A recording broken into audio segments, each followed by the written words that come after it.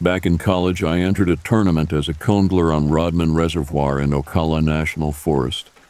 Boater told me to meet him at the lake at 5 a.m. I hit the road around 3:30 a.m. Should put me there about 15 minutes early.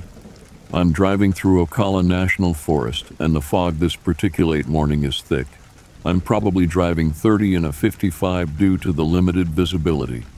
I come around a corner, and all of the sudden, I see the whitest lady I've ever seen in my life walking towards me in the lane. Clearly, just substance abuse going on, but could easily pass for a zombie ghost. I pull into the oncoming traffic lane and hit my brakes to miss her. I come to a stop about 15 feet past her and watch her turn around like a zombie and start walking towards my truck.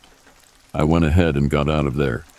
Since then, I've had a similar thing happen in almost the same area with a regular looking guy that appeared to have a bit too much to drink. Another time, guy just crossing the road around midnight, no vehicles around. I've got several buddies that have similar stories of people walking in the oncoming lane seemingly in the middle of nowhere out in the Ocala National Forest, and they had to swerve to miss them. Weird thing is, it always seems to happen 5 10 miles from the closest building that shows up on the map, and these aren't hikers. No clue what these people are doing out there.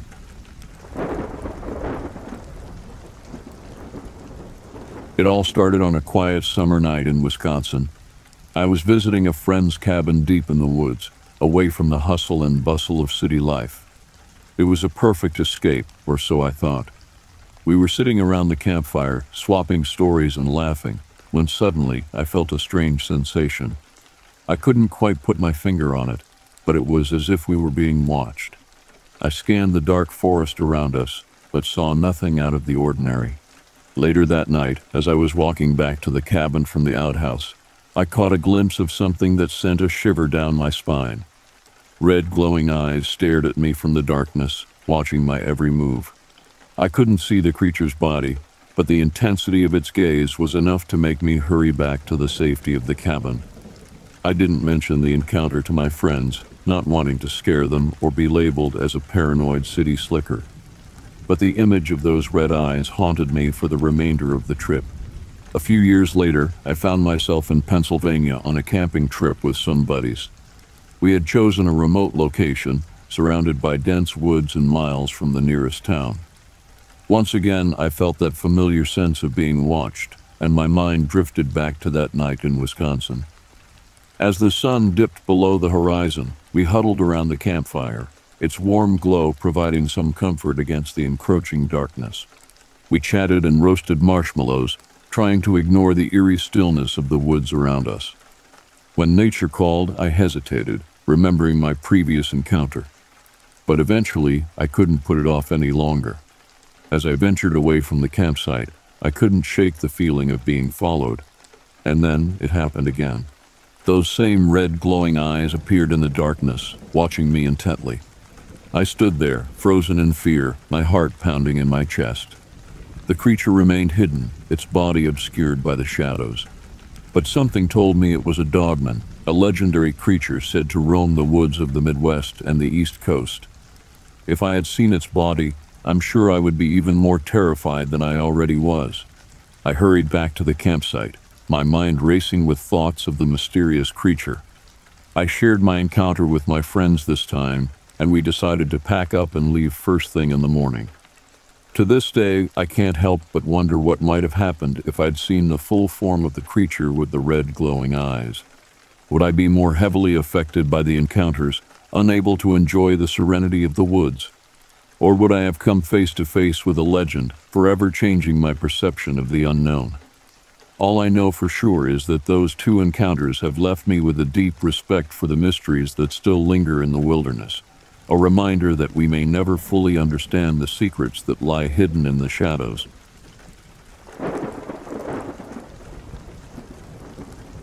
In a world where the truth is meticulously controlled by the government, every record, Every piece of history is carefully curated to fit a specific narrative.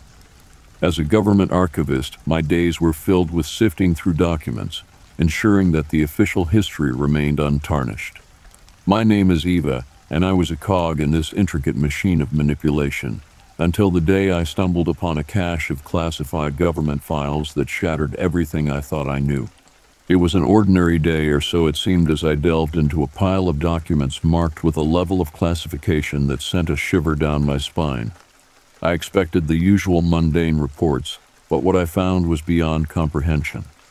The files contained evidence of over 5,000 cryptids that had been encountered since 2023. Creatures that defied explanation, lurking in the shadows of our carefully constructed reality. As I read through the reports, my heart raced with a mixture of excitement and fear. These documents had the power to rewrite history, to expose the hidden truths that the government had been suppressing for years. The existence of these cryptids challenged everything I had been taught to believe, and I knew that the world deserved to know the truth. My decision was made in an instant. I had to expose this revelation to the public. But I was not alone in my discovery. As I meticulously gathered evidence and pieced together the puzzle, I could feel the eyes of powerful forces upon me. A brilliant but enigmatic CIA operative named Donovan and a stern Army general named Harrington began pursuing me relentlessly. The chase was on, and I found myself in a deadly game of cat and mouse. Donovan's intellect was matched only by his resourcefulness, and he seemed to anticipate my every move. General Harrington, on the other hand, was a force of military precision, using his influence to cut off my escape routes and corner me at every turn. With each step I took to expose the truth, the danger escalated. Donovan and Harrington were not just trying to silence me, they were trying to control the narrative, to maintain the government's iron grip on information. The more I uncovered, the clearer it became that the cryptids were not just anomalies. They possessed powers beyond our understanding, powers that could tip the balance of power in unimaginable ways. As the pursuit intensified, I found myself torn between my duty to reveal the truth and the overwhelming fear of the consequences. Were these cryptids truly the key to a new era of enlightenment, or were they harbingers of chaos? The more I learned, the less certain I became. Unfortunately, I failed. Once they caught me, they told me that they'll not only kill me, but all my family if I continue to leak the forbidden information. I had to comply, at least for now.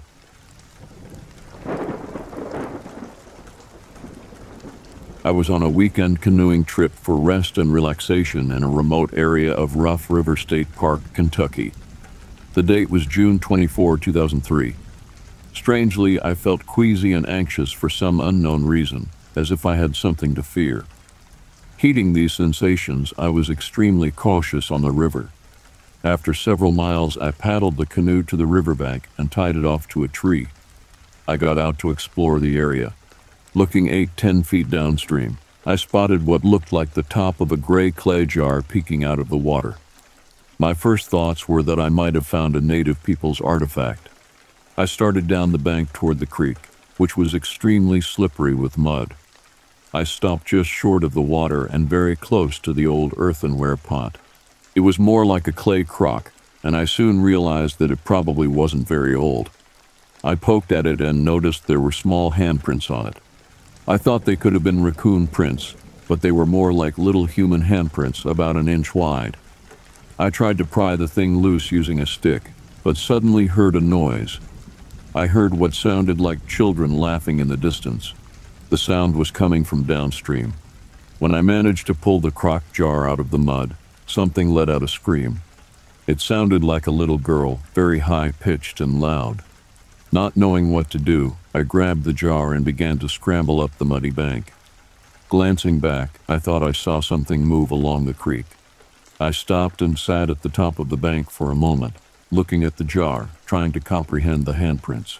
After a few minutes, I laid the crock down, got up, and walked along the creek, stopping every once in a while to peek through the bushes to see if anybody was there. At one point, I looked over the bank and noticed two little people standing about one foot tall. They had pale skins, little brown leather pants held up by suspenders, no shirts, and little pointy hats made of what looked like leather. They had leather foot coverings that went up past the ankle.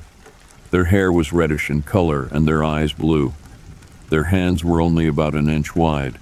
They knew I was watching, but they continued their task of pulling some kind of wooden stump down the muddy creek bank with long leather ropes or strings. These little men were surprisingly clean for the work they were doing. I then heard a thump back where I first had gone in the creek. I looked back and there were three more of the little men, exactly like the first two. They had pushed the crock jar back down the bank. They were all laughing, high pitched laughter, like a bunch of kids. I then heard a loud snap, and they were all gone. Their footprints were plainly visible in the mud, but they were gone, along with the crock jar and the wooden stump.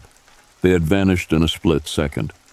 I walked around in an attempt to pick up a trail, but to no avail. I continued my trip with no other incidents.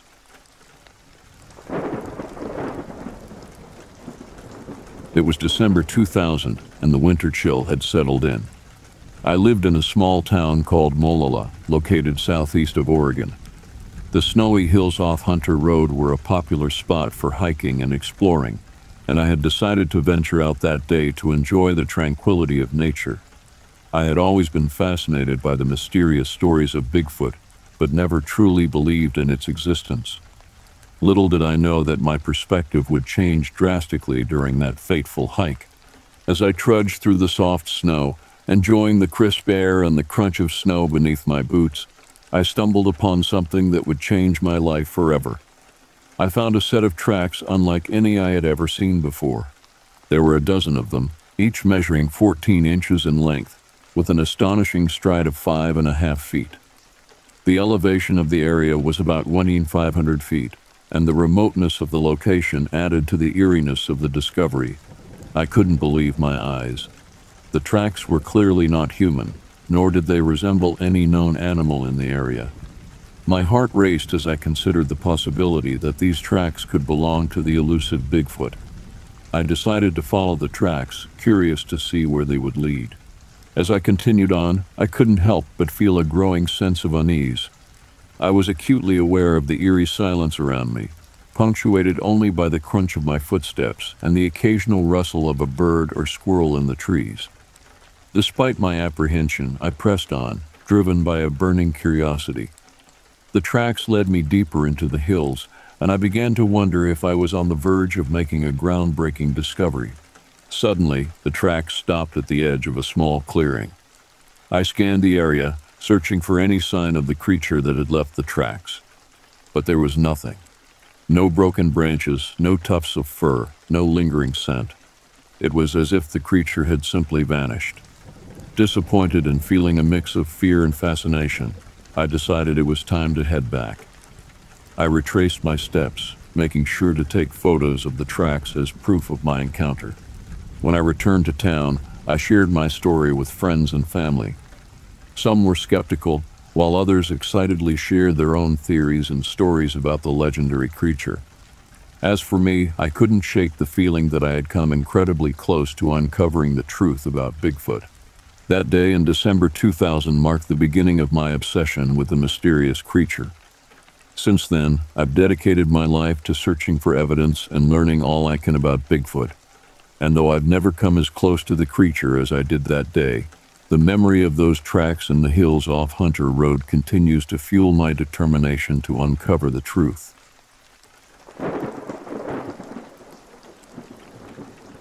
As I stared at the lifeless body of my best friend, I knew I couldn't let this go on any longer. The once peaceful town we called home had become a place of fear and nightmares, the forest surrounding it now inhabited by deadly, unknown creatures. We had come together as a group of hunters, determined to protect our town and families from the mysterious predators responsible for the gruesome animal attacks that had plagued our community for months. We had entered the forest, weapons in hand, prepared to face whatever horrors awaited us. But we were not ready for the cunning intelligence and ferocity of the creatures that hunted us. They picked us off one by one, their stealth and speed unmatched by any predator we had ever encountered. I was the last survivor, my friends and fellow hunters, now nothing more than memories and fallen comrades. Desperate and terrified, I stumbled deeper into the forest, hoping to find a way to stop these relentless monsters. That's when I discovered it an ancient relic, hidden away in a dark, forgotten cavern. Its mysterious power seemed to resonate with the creatures, hinting at the possibility of controlling them. With newfound determination, I began to study the relic, learning its secrets and unlocking its potential. As I deciphered its ancient symbols and harnessed its power, I devised a plan to turn the creatures against one another, using their own instincts and abilities to defeat them. With the relic in hand, I ventured back into the heart of the forest, seeking out the lair of the predators. When I found them, I used the relic's power to emit high-frequency sound waves, carefully tuned to a frequency that specifically affected their hearing, leaving the other forest animals unharmed. The creatures, disoriented and incapacitated by the sound, began to turn on one another, their pack mentality shattered by the unbearable noise. As the predators fought amongst themselves, I watched from a safe distance, the power of the relic protecting me from their wrath. The once fearsome creatures were now vulnerable and confused, their reign of terror coming to an end. With the last of the creatures defeated, I returned to the town, battered and bruised but alive. I carried with me the relic, a testament to the power it held and the lives it had saved. The nightmare was over, and our small town could finally begin to heal from the horror that had gripped it for so long. In the end, the ancient relic and the knowledge of the high-frequency sound waves had been the key to our salvation, allowing me to overcome the deadly predators and protect the home and people I held dear.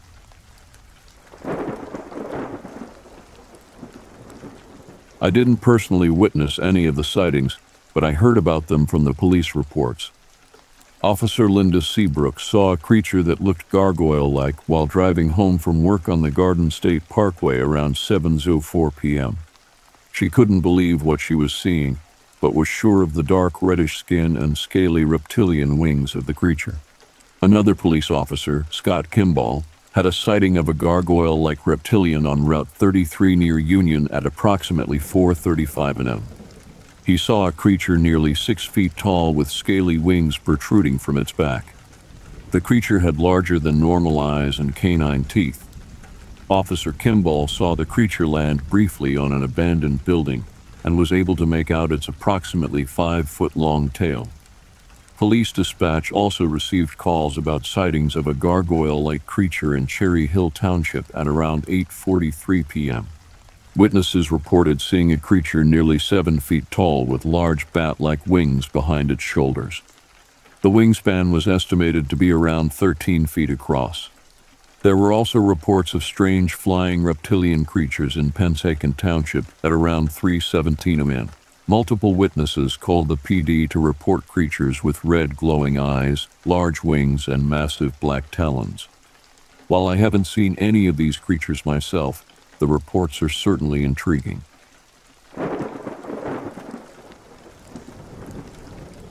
I've always loved exploring the great outdoors, and one of my favorite pastimes is hiking the trails in the Mount Hood National Forest.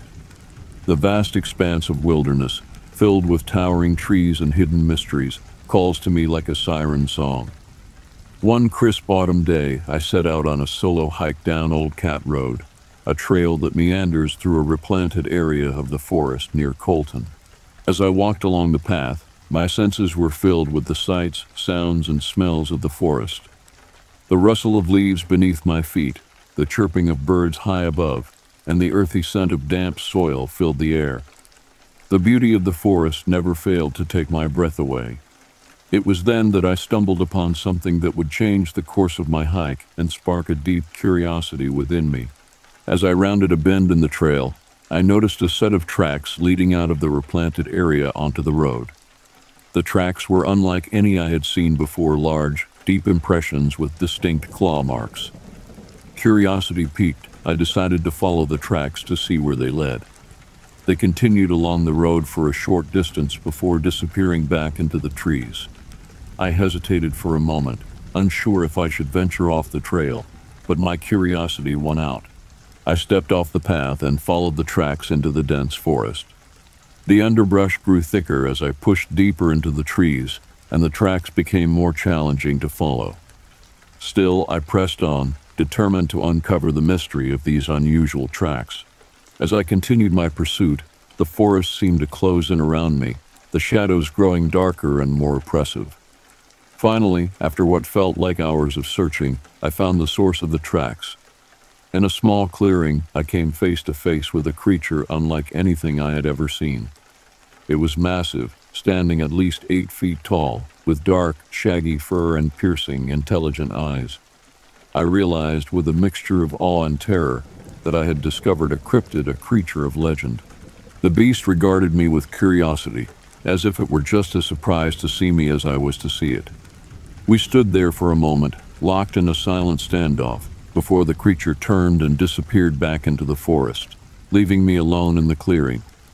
As I made my way back to the trail, my mind raced with questions. What was this creature? How had it managed to remain hidden for so long? And most importantly, what would I do with this incredible discovery? From that day forward, my life was forever changed. The encounter in the forest fueled a lifelong passion for cryptozoology and a quest to unravel the mysteries of the unknown. The memory of that fateful day in the Mount Hood National Forest continues to inspire me as I journey through the world of cryptids, searching for answers and unlocking the secrets of the wild.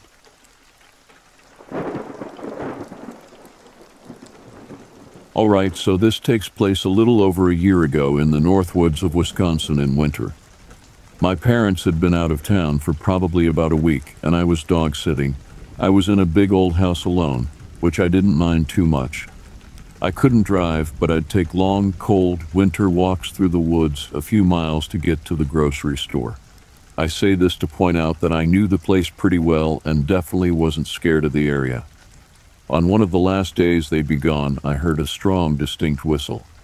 It was at the same tempo of the sound a foghorn would make, but very high pitched. It was pretty loud and sounded incredibly close.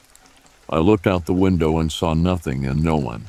I also heard about nothing, no footsteps, birds, deer, or anything else. The silence was so eerie that I could feel my heart pounding. I immediately ran to shut and lock all of the doors and windows.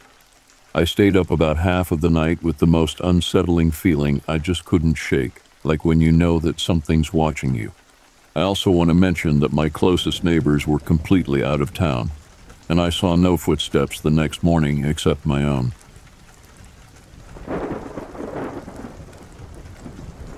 I grew up in Hillsboro, just down the road, and there was something that haunted me during those years a tall, featureless figure darker than the darkest night. It appeared in my room on multiple occasions, always in a different position. Sometimes it would be crouched down in the corner, facing the wall, while other times it would lurk inside my closet, staring into its depths. These encounters left me feeling unsettled and frightened. One particular night, shortly before I was about to leave for college, the figure took on a more terrifying form. As I awoke from my sleep, I saw it bent over at a perfect 90 degree angle, its face positioned directly above mine. It started repeating the same phrase over and over again in a haunting voice I am here, I am here. The words echoed through the room, sending shivers down my spine. That night marked the last time I ever saw the figure.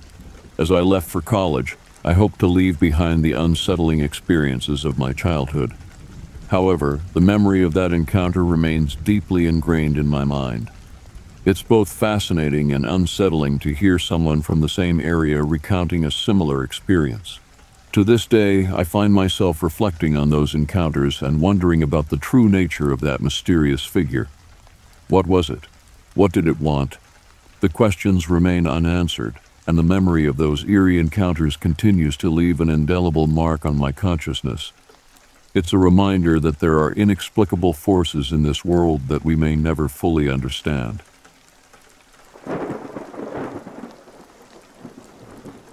I was born and raised and currently live in the very rural Northwoods of Wisconsin, near the UP border of Michigan on land that was originally, and still somewhat sparsely populated by the Ojibwe people. I had a similar experience this past February 2023 that I can't shake. I was solo snowshoeing an isolated trail system in the Chequamegon Nicolet National Forest in the Lake Superior snowbelt, not far from my home. It's a beautifully remote place that I've explored many times alone, often never crossing paths with another person. This time it was sunny late afternoon. I was again alone on a particularly scenic trail, paralleling a small, fast flowing river which was open and only iced over on the banks, enjoying the serene scene accompanied by the sweet songs of chickadees and industrious sounds of nuthatches amplified by the cold calm. As I got further on the trail, I noticed it suddenly got very quiet, which wasn't alarming at first as the winter woods can get very silent, especially considering our high snowfall amounts that blanket the land. Then, out of nowhere, I heard a rhythmic, deep, and reedy sound of a low but loud whistle through the brittle woods. I was captivated as I had never heard that sound before. It had a powerful pulse to it that I can't really describe. I am an avid birder, admittedly, not an expert, but I was baffled. The noise was somewhat close when I first noticed it, but instead of being curious, I became concerned as I heard the sound getting closer to me. The sound inexplicably filled me with dread. It seemed to be traveling quickly, maybe as fast as a bounding deer, and seemed physically low, the utterance coming from somewhere just above the ground and well below the treetops. While I was out there, I rationalized that the strange vocalization must be from a raven. Ravens are year round residents up north, so I am very familiar with them. They are highly intelligent birds with complex, individualized calls that include deep sounds like croaks. However, I have never ever in my four decades of living up here have ever heard a raven utter a sound like that noise. That day I was deep in the woods and was the first person breaking trail after a big snow, so I couldn't move fast. I decided that my best course of action was to just keep going until I got to a switchback that would shorten my journey. As I paralleled the river from a ridge above dense with new pine growth, I heard the sound from what seemed to be between me and the river, maybe 50 yards maximum. I stopped and listened as it moved on and beyond, still paralleling the river. I couldn't see much ahead of me, and I did not hear any footfall of it breaking the snow. Honestly, as irrational as I felt, I was grateful to be hidden. I hauled it to the trailhead and got out of there as fast as I could. As soon as I got home, I started researching and seeking out any information on what bird or animal could have created that vocalization. Nothing I found matched that sound. To this day, I just tell myself it must have been a raven, but I know in my own small understanding of the world that it was something else.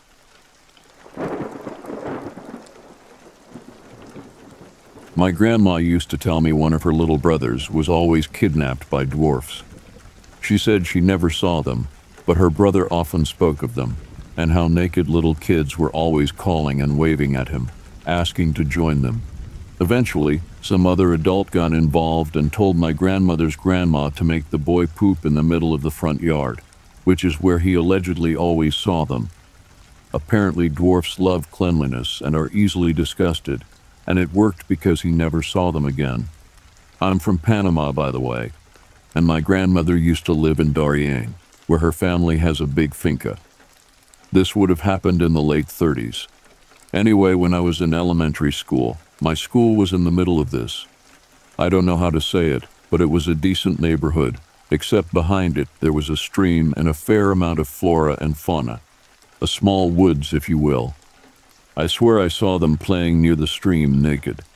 I never saw them call to me at all, but I do remember distinctly seeing them several times in a space of a week. My parents told me I was just seeing things, but I think my friends saw them too, because I remember we would all avoid going to the area where you could see through the gate to where the stream was.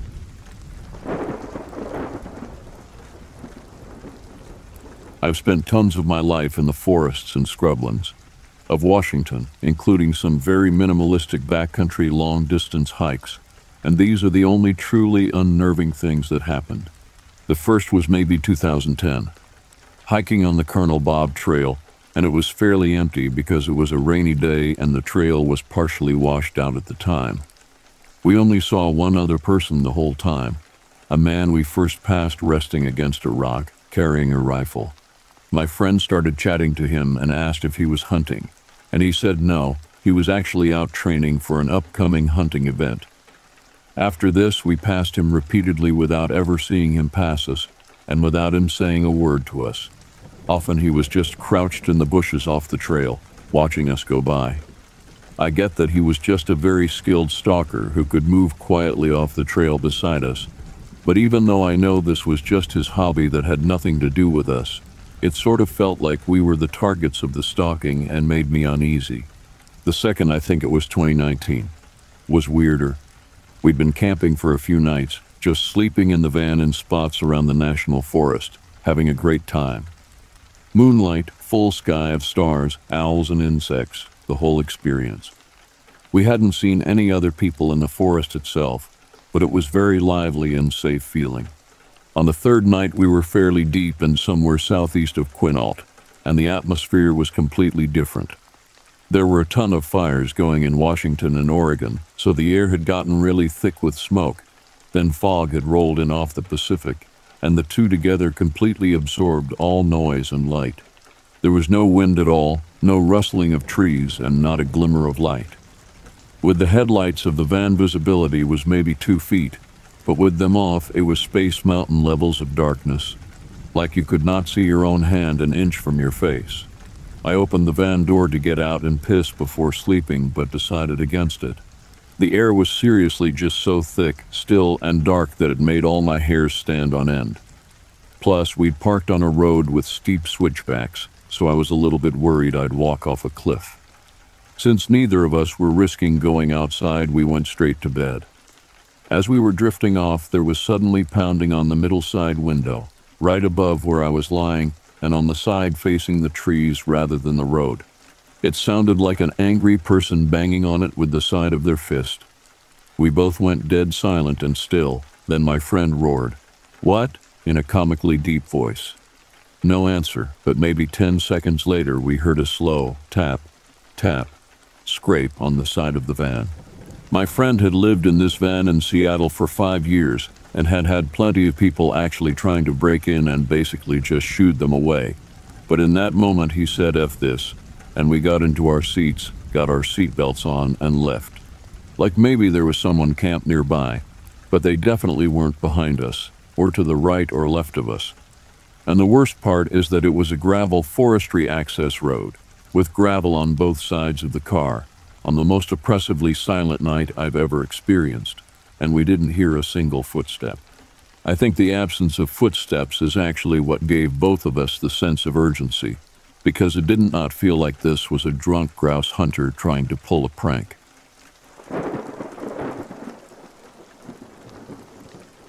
I used to night hike with friends during high school and go off into wilderness around North Bend, Falls City, and Preston sometimes in the rain at 2 a.m.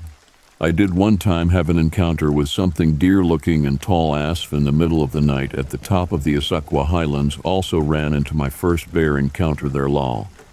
Whatever it was, it was peering out of the bushes near the only street light on a road that goes into the wealthiest homes there. I was just taking a stroll admiring the architecture. It literally looked like a deer. I could only see its head and neck. It made no sound when I saw it come out. We made eye contact and I was about 15, 20 feet away. Only thing was this thing was literally seven feet tall. In the first two seconds I saw it, I was stunned and cautious. It then suddenly tilted its neck 90 degrees, and I ran so fast back to my car that shit freaked me out. But it happened so suddenly I don't talk about it much. It's not a credible story for me. Other than that, I had one ghost experience as a child. Shit is ingrained in my memory. I can never rule out the supernatural because of that experience. Guess I've had three poltergeist events too, but again, I don't find them compelling enough, just unexplainable.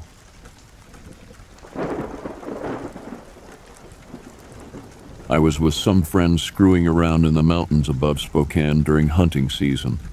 We were driving up a dirt road when we saw some lights on the hillside above us, maybe 300 yards away over a creek and up a hillside. It was dark enough, and we were in a canyon that the sides looked pitch black except for three red lights. I thought it was hunters with headlamps set to rid to keep their night vision, but they were acting kind of funny. They seemed to be hopping up and down every so often, even playing leapfrog. They never disappeared behind each other and moved pretty quickly at times. We ended up outside of the truck watching them and trying to see through the binoculars, they went out in the middle of the hill, and we watched a minute longer with nothing happening. At that point, my buddy got out his massive spotlight. We lit up the hillside, everything looked normal, but where the lights were was a rocky cliff face with sheer drops and overhangs. We decided to head back at that point and started driving back down. Took a wrong turn and ended up on an impassable road by truck that led to the top of a ridgeline. My friend starts backing out when the entire forest lights up with an intense blue-white light. We all look up out the windows expecting to see a helicopter or something, but none of us can actually pinpoint the source. My buddy stomps on the gas in reverse. We go flying, and right when we break out onto the main road, the light shuts off. It was far too bright to be a spotlight. Being near a ridgeline, I had a decent view, and it seemed like a large area of the forest was lit up like a movie set. We booked it down the mountain, and it became a running joke that we scared some fae, so they decided to scare us LOL. I've been back and seen the rock face in the daytime, but for the life of me, I cannot find the other road we pulled onto. I remember it looking really defined when we pulled onto it, though, and not even questioning if it was the right way.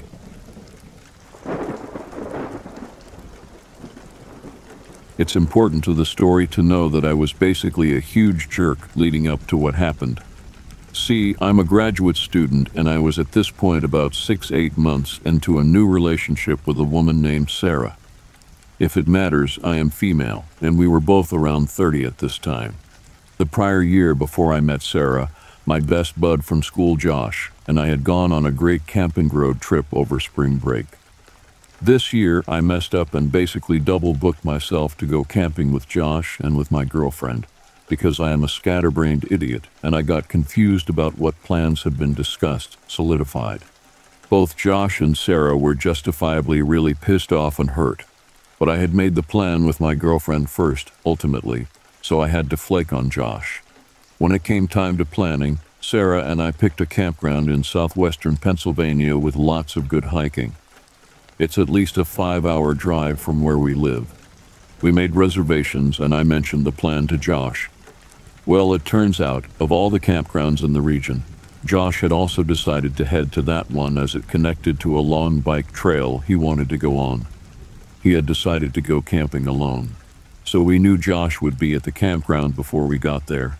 But things were super awkward between me and him, on account of my being an asshole and him being generally a bit depressed around that time. We stayed three nights and Josh was there for the first and second night.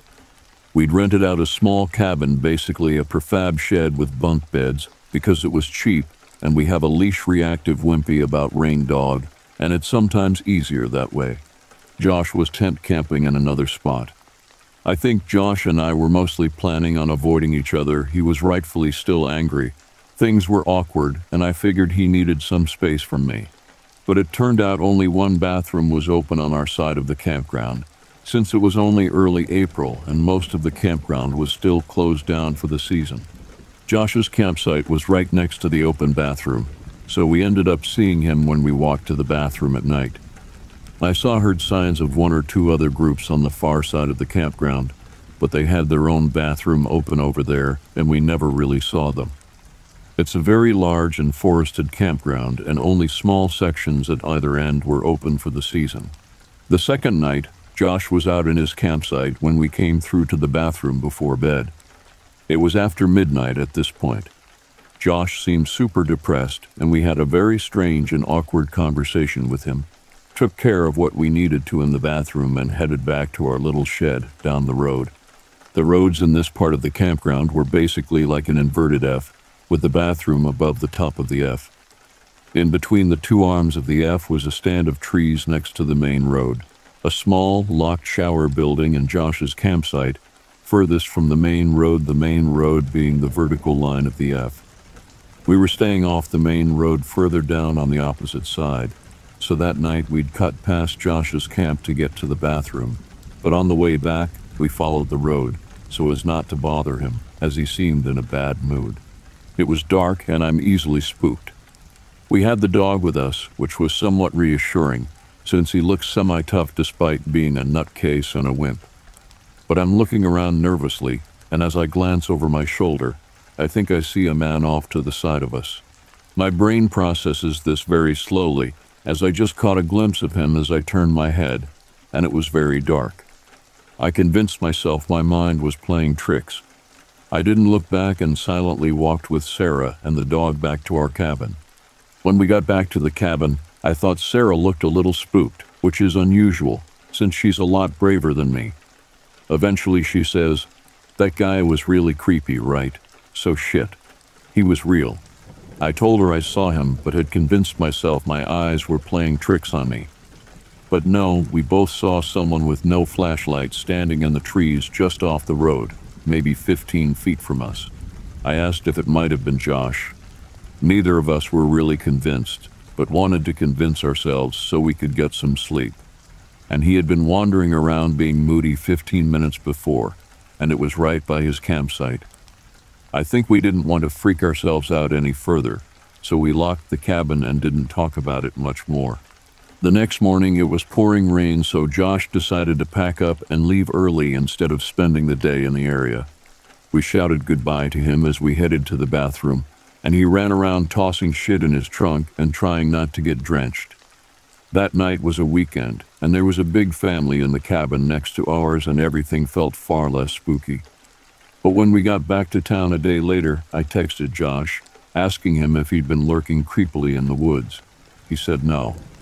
Well, I told him what we'd seen, and he said he'd seen a guy the prior night lurking in the woods without a flashlight. Same general description, which I'll get to, same area. The guy had really creeped him out, so much so that the next day he bought the biggest maglite he could find, so he'd have more than just a pocket knife to defend himself but he'd also mostly convinced himself it was a park ranger. Yeah, with no flashlight, let alone a vehicle. But he more or less willed himself to believe it so he could get some sleep. So once we could no longer pretend it was Josh, Sarah and I compared notes. What we both saw and what Josh saw the night before was this a tall, gaunt white man in his late 40s with clean shaven, sunken cheeks in the stand of trees, bramble just off the road and the space between the arms of the F. He was wearing a raincoat, rubber boots, and a hat, and had no flashlight. He was just standing still and staring coldly in our direction. I remember his raincoat, his sunken face, and how very cold his gaze felt. In contrast, Josh is several inches shorter than whoever we saw, was not wearing a raincoat that night, which we knew because we'd just seen him. But we convinced ourselves otherwise bearded, 29 years old at the time. I should add, it wasn't raining. To be clear, where this guy was was not somewhere you'd be strolling through, it was a thick, brambly area. He had made the effort to move out of the road and to stay in the shadows and away from the bright bathroom light, both nights. We're sure he wasn't going to the bathroom, though we were on the women's side. You can hear the men's side clearly, and Josh had been outside in view of the bathroom doors both nights. He didn't look like he lived in the woods, which is to say, he appeared clean and groomed, and his clothes weren't worn or dirty. Whatever he may have been doing in the middle of the night in a nearly abandoned campground with no flashlight, he was clearly making an effort not to be seen. We all discussed it, and Josh ultimately called the campground to let them know. They said they'd check it out. Although my camping fees were mysteriously refunded, we never heard anything more. Josh is still a little mad at me for seeing a potential murderer lurking the woods near his tent and not doing anything. Out of curiosity, we just checked to see if anything had happened in the park. A number of people have gone missing in the state park over the years, some slightly mysteriously. Most were found downriver and believed to have fallen into the rapids on accident. I'm sure it's unrelated, but the whole place gives me the creeps. And I still can't figure out what that man was doing.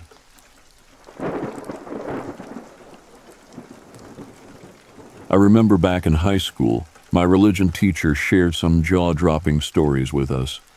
He claimed to have worked as an assistant to the local exorcist, involved in intense spiritual battles against the forces of darkness. It was an unexpected twist in our religious education, but it certainly grabbed our attention. He recounted encounters where he had direct conversations with the devil himself. These exchanges were chilling and unsettling, as he described the cunning and manipulative nature of the fallen angel.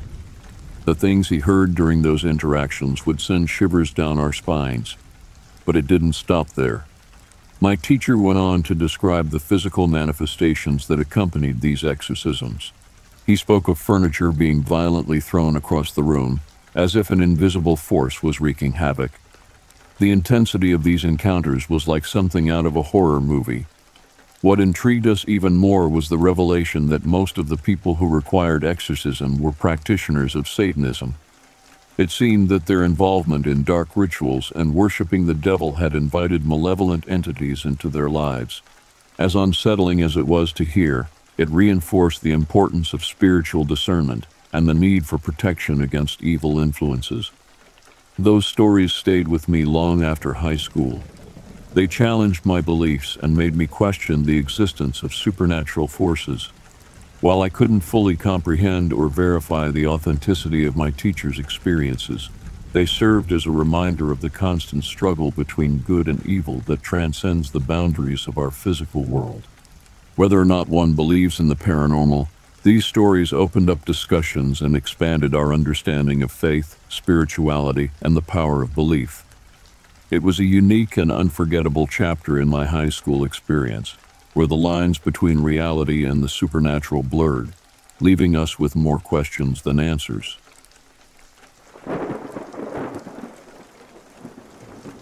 This happened nine years ago in the early spring when I was 15 years old, spring 2014.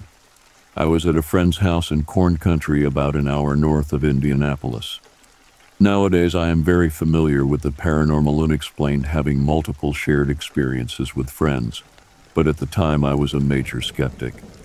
I didn't fully process what we saw until years later. I came over to my friend's house to hang out like any other time. I brought my pellet gun, he had one as well, so we could shoot some moles on his farm property. After a while, his brother joined us, and we eventually got bored of looking for moles.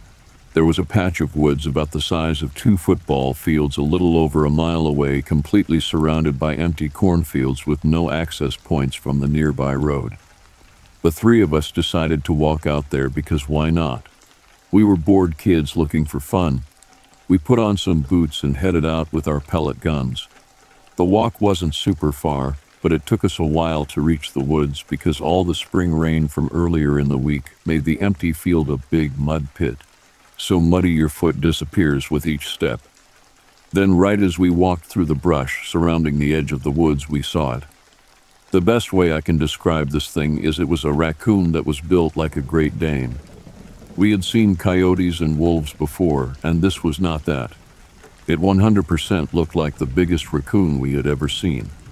We could tell we caught it off guard because it was just standing there on all fours grooming itself, and then it immediately locked eyes with us when one of us pointed at it and said, Look at that thing. There were a couple of seconds where we just looked at it as it looked back at us before it quickly turned around and scaled a 60 feet tree. We lost sight of it in the canopy.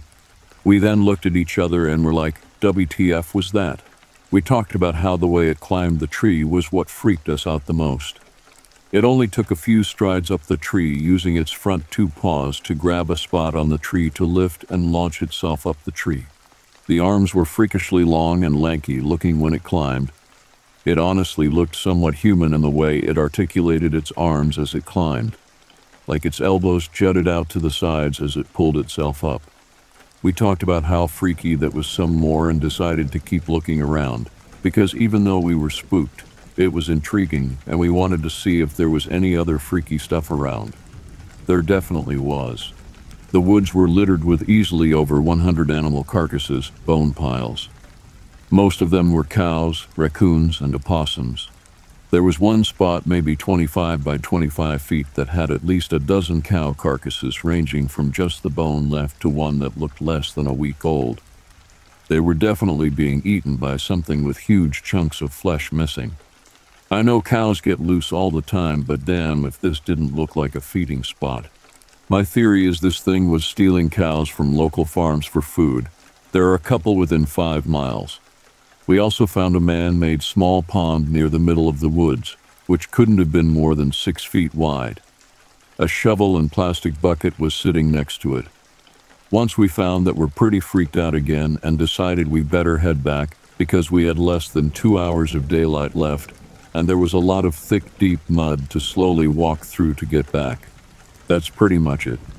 At the time, it freaked me out a bit, but looking back now, knowing what skinwalkers are, I'm just happy we came back completely unscathed. Unfortunately, I don't hang out with those guys anymore, and I tried to go back with some different friends somewhat recently only to see that the woods had been cleared out and there was nothing there. I thought I was tripping out, but I looked on Google Earth, and I could see in its place was dirt and log piles. Probably an omen to not chase this thing. I'll take it at face value. I haven't heard of the dogman, but this thing didn't look like a dog, coyote at all. I just used Great Dane as a size comparison as it was freakishly large to be looking like a raccoon. Yes, it had a striped tail like a raccoon. It had the face of a raccoon, specifically the large black spots around its eyes. Stubby, almost rounded ears like a raccoon. It had bushy fur like a raccoon. We saw it very clearly with no obstructions from about 30-40 feet away. It was early spring and the brush inside the canopy was still dead.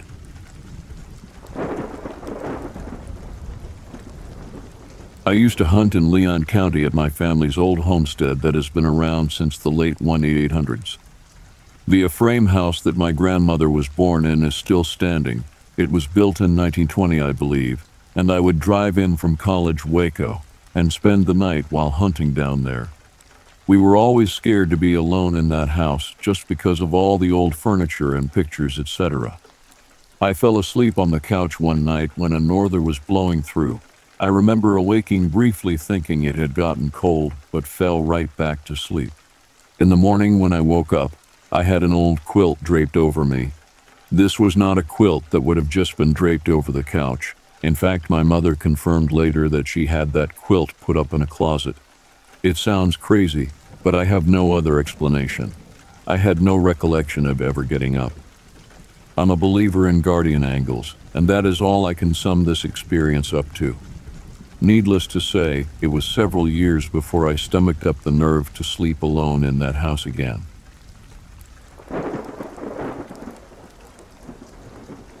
My mom, dad, and cousin each have a story that take place on the same patch of road in Mexico. I'll tell them as they were relayed to me individually.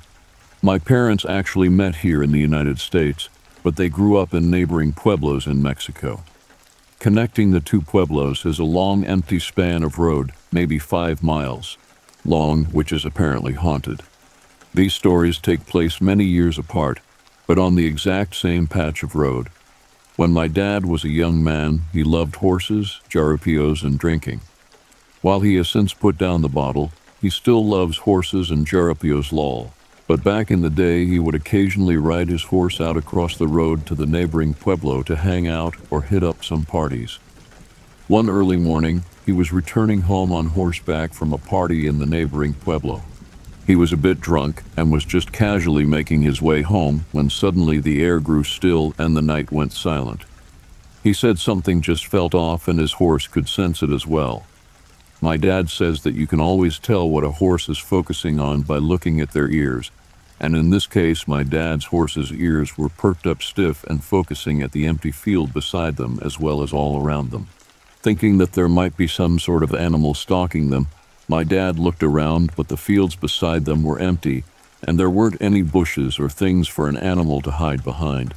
Suddenly, the air went cold, and my dad felt goosebumps on the back of his neck, almost as if something was right behind him. That's when my dad's horse couldn't take it anymore and took off running for its life. My dad held on tightly and tried several times to bring the horse to a stop, but it was dead set on getting the hell away from whatever they had just encountered. Eventually, they finally reached their pueblo, and the horse calmed down and came to stop. Never before or after had the horse behaved that way, and it left my dad shook up. Needless to say, he was sober by the time he reached home.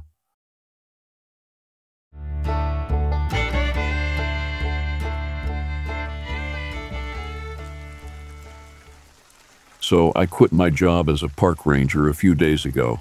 Not because I got tired of it, it's because I've seen some crazy shit. I wasn't one of those park rangers that stand around or sit in a shack. I was the kind that were bound to towers, taking radio calls and more. So it was a normal day just sitting, looking out for any strange things. You may be asking, strange things? When I first got the job, they informed me of strange entities and happenings. Those I still do not know to this day. As day started setting, I got a radio call from the other tower. Yes, I had the night shift that day. The man at the tower, or Chris, told me he's heading home and just a reminder to look out because night isn't pretty. As I see his lights turn off of the tower, I knew that my shift started. Nothing really happens when you work the night shift, but this specific day was strange. I was sitting next to the park map they left us when I hear static coming from the radio. I knew someone was trying to contact the tower, so I walked over. Before I had time to respond, a scared, out of breath man was on the radio. Hello, I heard. I did the standard procedure. This is Tower 4. What seems to be the problem? Finally, someone helped, the man said in relief. I was on the trail when I heard something behind me. Any more information? I asked him. Yeah, I started to speed up when I did it. It sounded like something was running after me. Stay on the line, I said. I opened the instruction manual. I was reading the part about hikers being chased by an animal. As I was reading, I heard a scream over the radio. Hello? Do you copy? Help? Whatever was chasing me is still chasing me. Keep running, but where are you? The lake that's near Tower 2. Head to the nearest tower. We always leave the towers open because when the shifts are over, they require to unplug and put the radio in the locked box. Yeah, that's dumb, but it's how it works. As I return to the radio, I hear a scream from the radio and outside. It sounded like somebody was getting murdered. Hello, where are you? I hear on the radio. I lied for my safety. I'm at the tower I sent you to. Okay, he sounded so calm. I pulled up my binoculars and zoomed in on tower. What I saw scares the shit out of me. It was a creature looking at me with red glowing eyes. It was waving at me. I was frozen in a state of paralysis just being watched by this creature. It was weird. It almost looked like something out of a movie or a game. As I started to feel like I could move again, I used it to grab the hunting rifle given to me. I aimed, but nothing was there anymore. I sat down and got the flask I hid in my drawer and I took one sip. Then I heard the familiar creak of my tower steps. It was late, and no one comes to check up on me at this time. I hid under the bed provided. Who's there? The thing said. It sounded like my boss, but I knew it wasn't. It sounded like a somewhat good impression. I knew it wasn't him when I saw its legs. It had hooves and fur, and I only saw its bottom part. It left, but whatever was there could replicate voices. Whatever it was, I don't know, but that was the one part that almost made me quit. But there are many more reasons.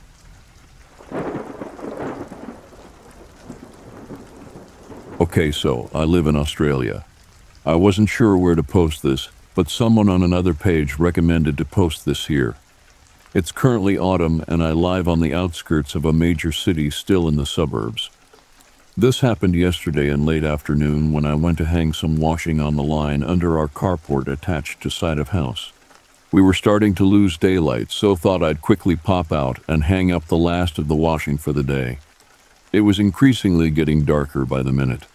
I had just begun hanging clothes when I started to get an uneasy feeling. I'm unsure why. I brushed it off as it, I was losing daylight quickly. A minute later, I heard a group of kids up the other end of the street screaming, and then silence. Again, I brushed it off as the kids just being kids and playing with each other. The intensity of unease grew, and I felt like I was being watched. I then heard a low growl which was unlike anything I'd ever heard, and the air got significantly colder, and all the crickets and bugs went silent.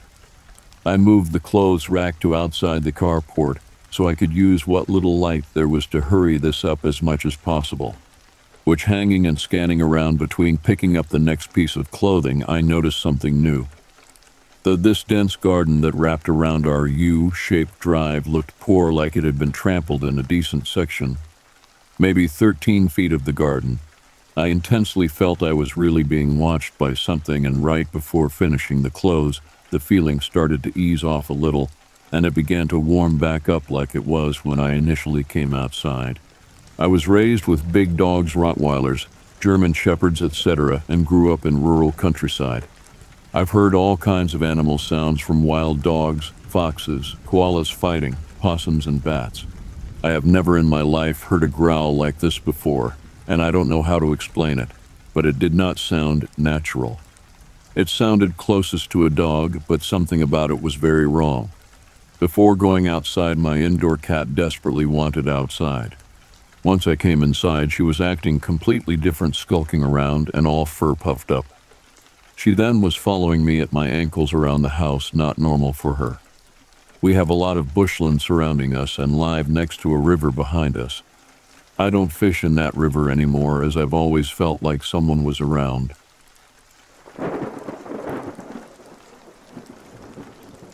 For the past few months, something has been harassing this entire house. It only happens at night, it's only been seen twice, and it's only been towards women and anyone under 18. My best friend's little brother looks like a grown man, but he's 16 if that's important. When I saw it, it was sunset, but it wasn't really an animal. It was someone really tall, somewhere between six feet six five. It was standing in the woods, kind of far away, really pale, like someone had never been in the sun. Blonde hair, black shirt. I couldn't see the pants, and its face wasn't visible. It was looking straight down. The arms were really long, too. I was about to leave, and I thought it was a person, so I said they weren't allowed on our property. It's a rental, if that's important. It just spun around and took off never lifting its head. It was really fast, like it almost disappeared fast. When my best friend's mom saw it, she described the same thing, but with jeans and said it was closer to six feet, six feet seven. It was in the same area that I saw it. This time it was sunrise. Ever since then, any time I've had to go outside at night, I go pick my best friend up at midnight five times a week from work. If I say anything, it mimics me. Sometimes its voice matches mine. Sometimes it sounds like a woman. Sometimes it sounds like a man. Sometimes I can't tell. It's all coming from the same area I saw that thing. My best friend's sister keeps having the same thing happen to her. All in the same spot in the woods. We all, aside from the three men in the house, keep hearing animal noises, but they don't really sound like animals. I saw a shadow outside of my window last week and my best friend's little brother keeps having someone tap his window at night. The windows are on the opposite side of the house from where we keep hearing and seeing everything, and the little brother's window is close to 15 feet off the ground. The shadow I saw went above my window, almost five feet off the ground and three feet tall, and it was almost a combination of a human and a deer, like it was a hunched over person with something sticking out of its head, and it had a snout. Last night, when I was leaving late night Walmart run, I walked outside and something screamed and started crying. I yelled for my best friend and ran back in while it was mimicking me. Nobody else heard it, and it stopped when he went outside. I made sure not to say anything when I went outside last night, but it still happened, so it's definitely watching us. I don't think we've done anything to upset anyone and none of us are natives unless you count the several generations back everyone in my area has. But I don't because none of us ever actually lived like Native Americans. But we do live about a 20 minute drive from what used to be a home to Mississippian Indians. I'm sorry if that's not the proper name. It was turned into a museum that is now run by their descendants. I live in Alabama, about a four hour drive from Mississippi and Tennessee. Is this a skinwalker or is it something else? I just want to get rid of whatever this is. The dogs won't go out at night, and normally I can sense energies, but I can't anymore. It's really freaking me out. It's daytime, so I'm not concerned right now, and it's never hurt us either. Just whatever information I can be given would be helpful right now. Update. Kinda, not really. I took some advice someone mentioned and tried to keep quiet and not react in any way the last few days. It went well until today. I was walking my son to the car just now, and he said hi to something in the woods. Not once, not twice, but three times. He waved the last time. It did not respond. but I about shit my pants because that means he can see whatever it is.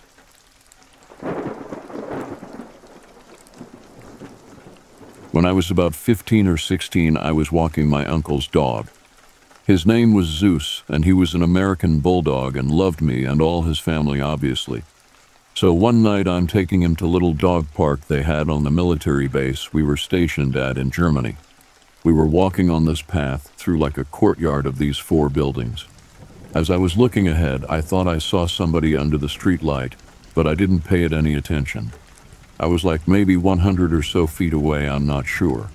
As we got closer, Zeus slowed down, and what I thought I saw before at this point looked like it was seven feet tall, but could have also been taken as like a shadow. It was weird. I started walking to it. I just wanted to make sure I wasn't tripping or going crazy seeing things. At this point, I'm like pulling Zeus to walk with me and see what's going on. The closer we got, the shadow thing started taking form. By the time we were like 30 to 25 feet, I saw like a 10 feet hooded figure, and you couldn't see a face or anything in the hood. It was like a void. Zeus started barking, which he never does, and I was like frozen for a second and dropped the leash, and he took off running. I snapped out of it and took off running too, and nothing happened to us. About eight years later, I saw it again while out in Atlanta one night.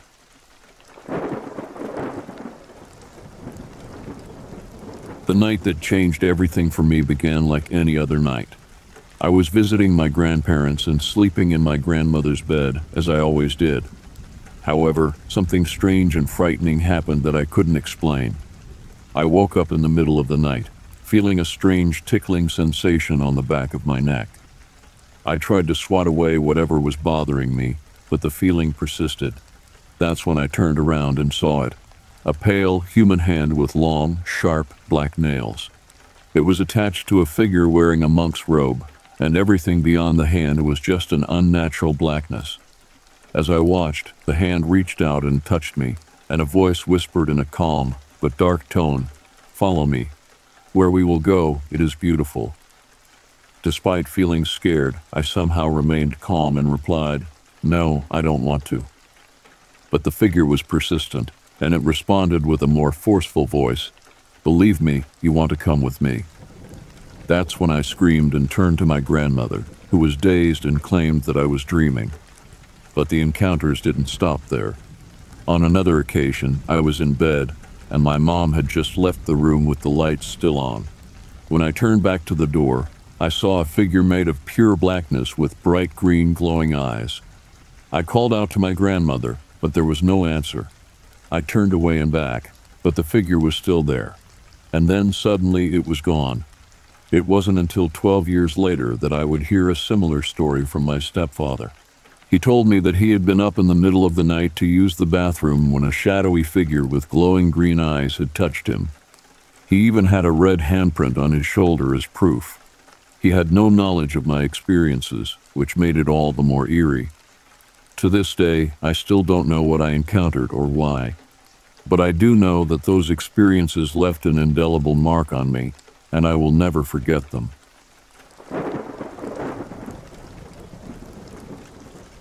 This happened when I was younger, probably around eight, after I had experienced what I know now as a near death experience. I was with my grandmother, who was still very healthy for a 76 year old woman. We went trekking across our rural property with a picnic basket in tow, just looking to sit down with our dog and have a nice time. Normal grandparent stuff. We ended up crossing the creek. It was dry at the time to go to the back pasture. Nearby, probably 50 yards away, was our cedar tree. We sat down and started eating when our dog started acting crazy. This dog, bless her soul, was an angel. Did not act like a dog most of the time. She never barked, never jumped, and always acted politely. She went nuts, running in circles around us, growling and barking. My grandmother got concerned, so she put our picnic stuff back in the basket and tried to calm her down. I was sitting a few feet away, scared because my dog was growling. I will admit my memory gets fuzzy around here, but I remember seeing a large gray creature step out of the creek tree line we had previously walked through. My grandma scooped me up and booked it out of there, our dog running with us. I am 90% sure she ran to the cedar tree. She always talks about it being her favorite tree and about how protective it is. The tree was a lot closer than her house, which was roughly a half mile away at this point. I just know our dog calmed down and I was happier. No, I don't live in the Southwest. I live in the South Central Aston, Arkansas, close to Louisiana. So I have no idea what it could be.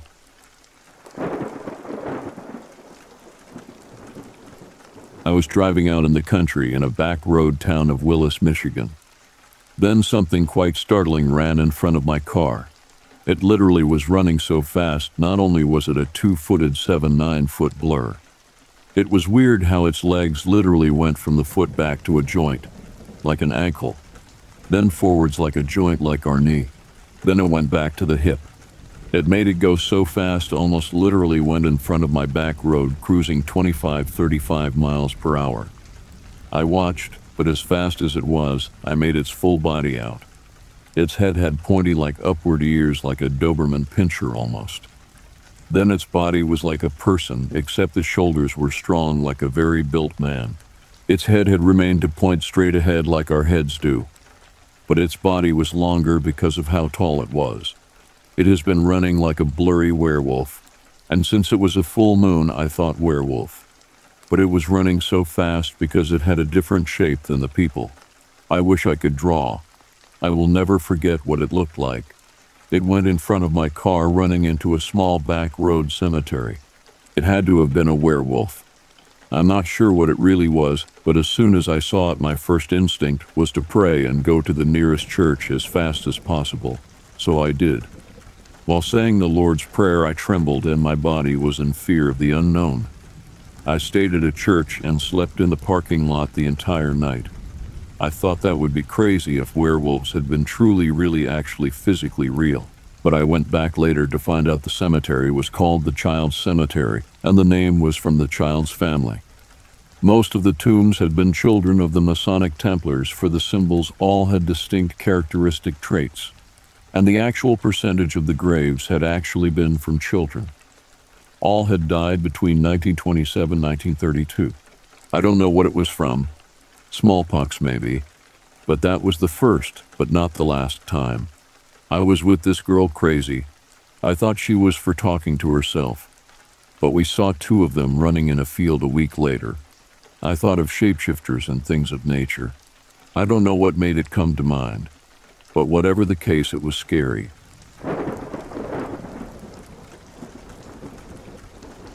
My spouse and I were riding in our private sleeping compartment on the train from Chicago to Portland, a trip we took almost every year to visit our relatives. I was keeping a close eye on the clock, as the train had left with a delay and had to make numerous unscheduled stops to let other trains pass.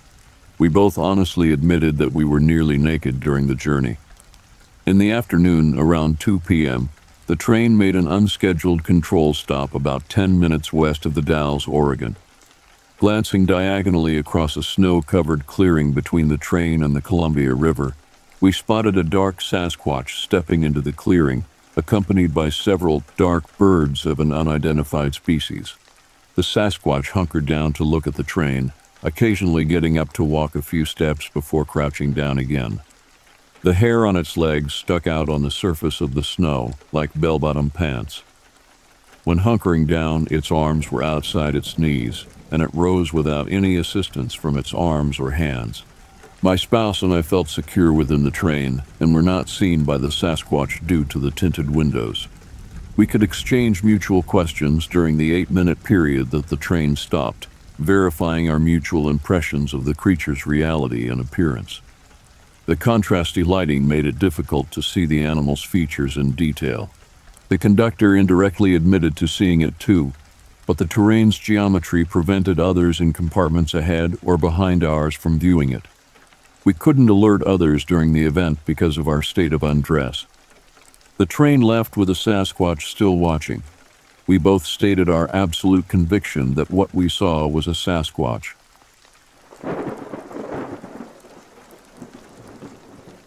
It happened five years ago. The official ruling was that his death was caused by a rogue bear attack. You know, when a bear gets a little too used to eating human food, so it doesn't feel threatened anymore and attacks a human. They all know it wasn't a bear, though. Bears don't leave wounds like that, and they sure as hell don't pose the body 70 feet up in a dead tree. Yeah, I said pose, but before I get into the details, I should explain a bit about myself. Now, I'm a park ranger in a very popular national park in the northern United States. I don't want to say exactly which one, although I doubt I'll keep my job for much longer. Anyway, that's partially why I'm posting this. I need to tell somebody else about this story, and like I said, my colleagues don't want to talk about it. Being a park ranger has given me a lot of weird stories, and everybody is used to weird happening in the woods, but this was on a completely different level. For days, we had been getting reports from campers and hikers about strange noises coming from a section of deep backcountry forests. Growls, yipping, even human sounding voices. Equipment and food had been going missing from backcountry campgrounds. All pretty typical stuff that can be explained away pretty easily. Many animals thieve food, make weird noises, and even the human voices can be explained by the sound that foxes and mountain lions make at night. But we needed to investigate either way because an animal that is conditioned to human food is dangerous so we sent our veteran backcountry ranger, Craig McKay. This guy had been working there for 30 years, was an expert outdoorsman, and was my mentor when I first started. As always, he jumped into the task, always eager to go into the backcountry, even though he was getting a little older. I'll pause now and let Craig tell the rest of the story. Well, his journal will have to tell the rest of the story because he isn't alive to tell it. I found his journal, a flashlight in his backpack, inside a small cave near the location of his body, a couple of days after he didn't return, and we had sent out a search party to find him. I haven't shared this journal with anyone, not even the other rangers until now. I'm not exactly sure why I've kept it hidden, other than that the truth seemed so messed up and unreal. I didn't want it to damage people's memory of Craig. I'm not even sure if I believe it myself. Everything I'm going to read to you, he had written down over the two days he was out on his backcountry excursion. October 21st, 2011, Day 1. Today was a long day, and I can't say that I've made much progress. I've hiked about 15 miles over the course of the day, starting down in the gully where the reports first started and ending up at my current camp, which is on the southwest side of Bald Knob. I figure it's a good enough place to keep an eye out for anything coming and going through the valley. Earlier, I found some tracks in the ground in the area, and as close as I can tell, they're from a mountain goat. Odd that it would travel alone, but maybe it was separated from its herd or dying. It had an odd gait. I followed them for a while, but they didn't lead anywhere, so I abandoned them. Near the tracks was a pervasive smell of death and I'm assuming a goat got separated and died.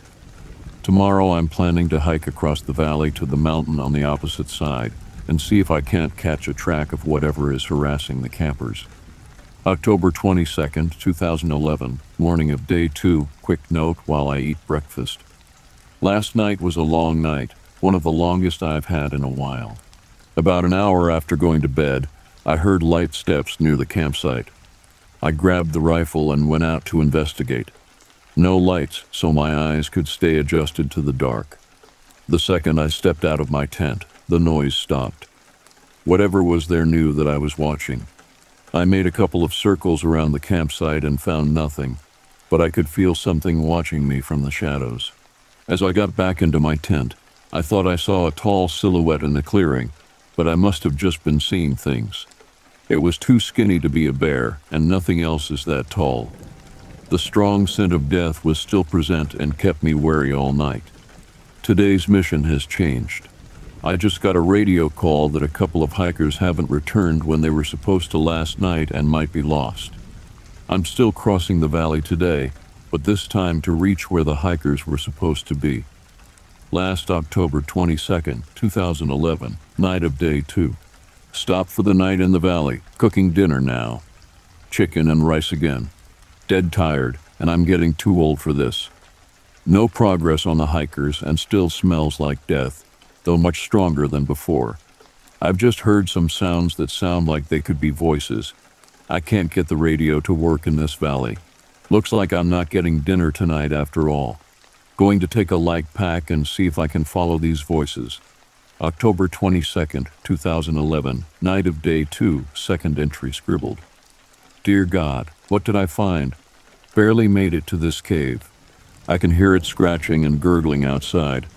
Going to try and block the entrance and see if I could stay here overnight. I found out where the smell of death came from. Got the cave entrance cracked, covered with a large rock and some brush. It will have to do.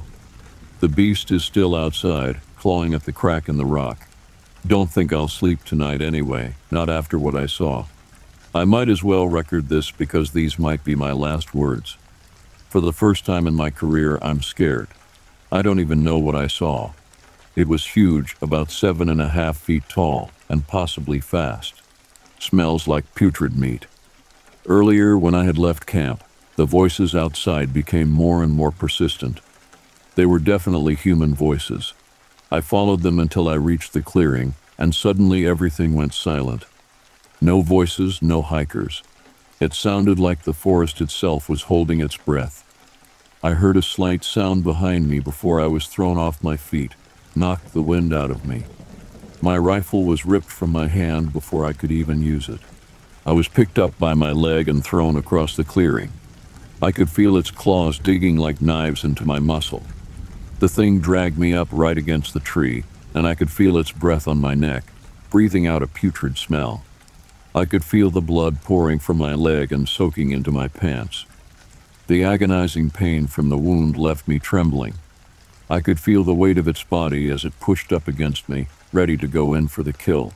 I heard the smack of its mouth opening and prepared myself to die when a crash in the distance distracted the beast long enough for me to make a break for it. I ran for my life and I didn't look back, but knew it wasn't far behind me. About 20 feet away was the entry to this cave that I was able to squeeze into. It's still outside. I could hear it shuffling around trying to get into the crack, and I could hear the heavy breathing, the sucking, gasping sound coming from its mouth. I have no idea what I'm going to do. Dear God, please help me out of this. I want to see my wife again. I want to see my kids again. My nose is filled with the putrid smell of impending death. If I make it through the night, my plan is to wait until first light and try to escape back to the ranger station. Those are the last words we have by Craig McKay. When he never reported back, we assumed his radio had gone out of range but after a couple of days, we sent a search party to find him. Well, we found him all right. From the tracks, it looks like Craig left the cave early the next day. He makes it about 50 feet from the cave entrance when a second set of tracks catches up to him. Goat tracks, more specifically, a goat with only two legs. The gait matches something that would be a bit more than seven feet, like Craig described in his journal. What we found of Craig was dragged 70 feet up a nearby tree and torn to pieces. He was hardly recognizable. His torso was jammed onto a short branch on the tree that kept him hanging there, his arms splayed out to his sides. His innards were strewn around the base of the tree. The jagged shadow remains of his leg bones stuck out of the early snowfall that had come to the mountains this year. Nothing appeared eaten or missing, but not a single piece of him was left untouched by the monster. It took the rest of the day and a special rope team to get him down. The missing hikers were never found. Those scraps of clothing matching what they were wearing have been found in the same valley where Craig died. Like I said earlier, the official story is a bear attack. Bears don't do this. We don't know what did this. We've rerouted trails to stay away from this area but we still hear reports of humans sending voices coming from the woods. And we've had some more hikers than normal go missing in the last five years. They are found, but it's always too late. Some are arranged like Craig was, broken warnings to other hikers who dare intrude upon the beast's forest. Some are just never seen again.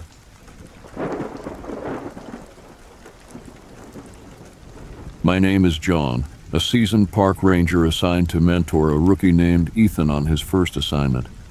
We ventured deep into the remote backcountry of the vast national park, eager to pass on my knowledge and experience. Little did I know, our routine patrol would quickly become a harrowing fight for survival. We stumbled upon a series of gruesome animal killings that defied any logical explanation. The carcasses were left in a manner that suggested no known predator was responsible. As we investigated further, we discovered the existence of a pack of supernatural predators that could blend into the shadows, moving silently and unseen. These creatures were unlike anything we'd ever encountered, and their mere presence sent a chill down our spines. Ethan and I knew we had to overcome our fears and rely on our skills to outwit these elusive predators. Our priority was to alert the public to the danger lurking within the park's borders, but we knew we needed to act fast.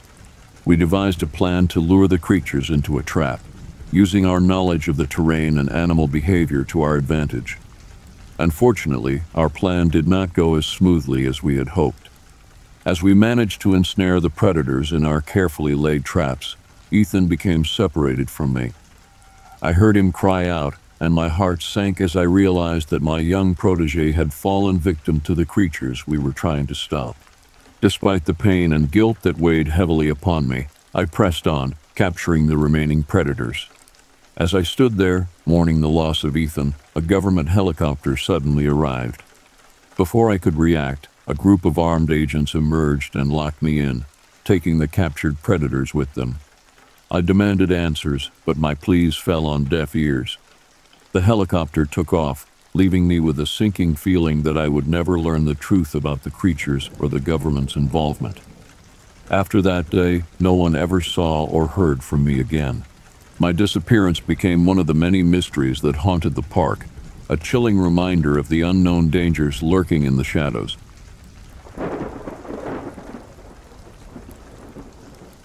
Two years ago, I found myself on an elk hunting trip with three of my buddies. We had set up camp near Ukiah, Oregon, or at least that's what I think it was. The days were spent scouting for elk, and the evenings were filled with laughter, storytelling, and of course, drinking screwdrivers around the campfire. One particular night, as we sat around the fire, we were all in high spirits, sharing our adventures from the day. Suddenly, out of nowhere, a loud, undulating scream echoed through the forest, cutting through our laughter and chilling us to the bone. It was unlike anything any of us had ever heard before, and it sent a wave of fear through the camp. Instinctively, we all jumped up and ran for our guns, our hearts pounding in our chests. The adrenaline coursed through our veins as we frantically scanned the dark woods surrounding the camp, trying to pinpoint the source of the terrifying sound. As we stood there, weapons at the ready, we caught a glimpse of a large, shadowy figure moving swiftly through the trees. The sheer size and speed of the creature was enough to make us believe that it was a Sasquatch, a creature we had all heard stories about, but never truly believed in until that moment. Just as quickly as it had appeared, the creature vanished into the darkness, leaving us all standing there, dumbfounded and shaken. We gathered around the campfire once again, our previous mirth replaced by a sense of unease. We spent the rest of the night discussing the incident trying to rationalize what we had experienced. Over time, the memory of that night has faded, but the feeling of fear and awe that the scream evoked still lingers. We've shared our story with others, some of whom believe us, while others dismiss it as a product of our overactive imaginations and too many screwdrivers.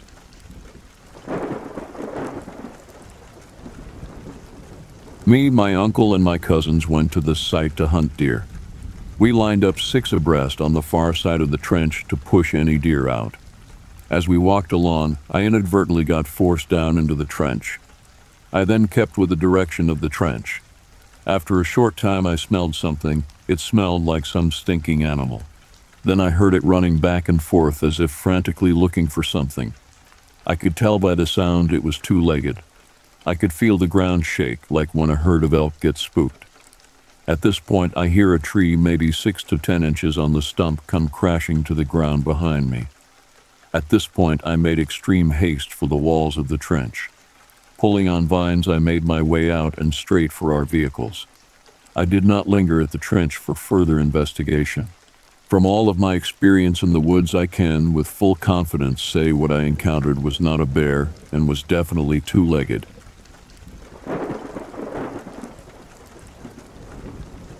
The crisp autumn air filled me with excitement as my four friends and I gathered around a roaring campfire outside the hunter's lodge. This remote cabin was nestled deep within the heart of a dense forest, and it held a century-old history cloaked in mystery. We had rented it for a week of hunting and relaxation, but we had no inkling that our decision to spend a week at this secluded outpost would lead to a terrifying encounter with the unknown. The group consisted of James, Sarah, Mike, Lisa, and myself, Daniel. We had been planning this trip for months, eagerly anticipating the chance to escape the hustle and bustle of city life and trade our smartphones for rifles and hiking boots. The lodge, despite its eerie past, offered the perfect escape from the daily grind. As the days went by, we settled into the lodge, swapping stories by the fire and savoring the simple pleasures of life away from civilization. However, as night descended upon us, an unsettling feeling began to creep over our group. The wind whispered through the trees in an eerie, ghostly chorus, and the old lodge creaked and groaned as if it harbored its own secrets. On the third night, we were jolted awake by a faint, mournful howling in the distance. It was unlike any animal we had ever encountered, sending shivers down our spines and making sleep impossible. We tried to dismiss it as a trick of the wind and attempted to resume our slumber. The following evening, as we gathered around the fireplace, we heard something that chilled us to the bone a low, guttural growl emanating from just beyond the lodge's walls. James, known for his fearlessness, grabbed a flashlight and cautiously peered out the window. My blood turned to ice as I watched him shine the light into the darkness. There, right outside the window, was a beast. I could see spittle running down its face, and its eyes were fixed on James. It stood on its hind legs, its fur a matted blend of cream, red, and brown. Its face was wolf-like, with a snout and sharp teeth, but apart from that snout, its facial features were eerily human. Its jawbones were high, and the structure around its eyes and the eyes themselves were shockingly humanesque. Its eyes, I believed, were a chilling shade of yellow. James stumbled back from the window, his heart pounding, and relayed what he had seen to us. Panic began to set in as we huddled together, wondering what kind of creature could lurk just outside our lodge. Our questions remained unanswered, and we were overwhelmed by a sense of dread. The night grew colder, and the growling continued. Then a more terrifying sound reached our ears the scratching of claws at the door. The creature was trying to get inside, and fear quickly turned to desperation as we realized we were trapped. That's when Daniel, the most level headed among us, proposed a dangerous plan. He suggested that we escape through the back door and set explosives inside the cabin. The idea was to lure the creature inside and then detonate the explosives from a safe distance. It was a risky plan, but we had no other choice. With trembling hands, we prepared for our escape. We cautiously opened the back door and crept out all while hearing the front door splintering under the creature's assault. Panic set in as we sprinted into the woods, barely escaping the pursuing horror. Taking cover behind the trees, we watched in terror as the creature entered the cabin.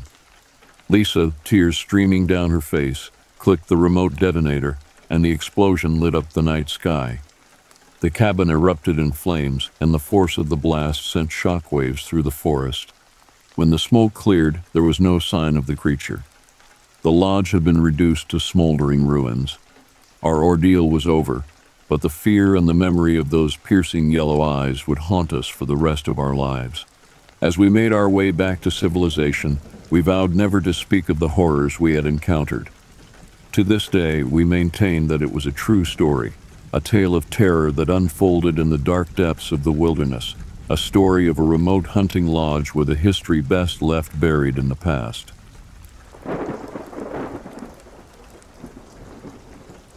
The very first time I went deer hunting was back in 2015.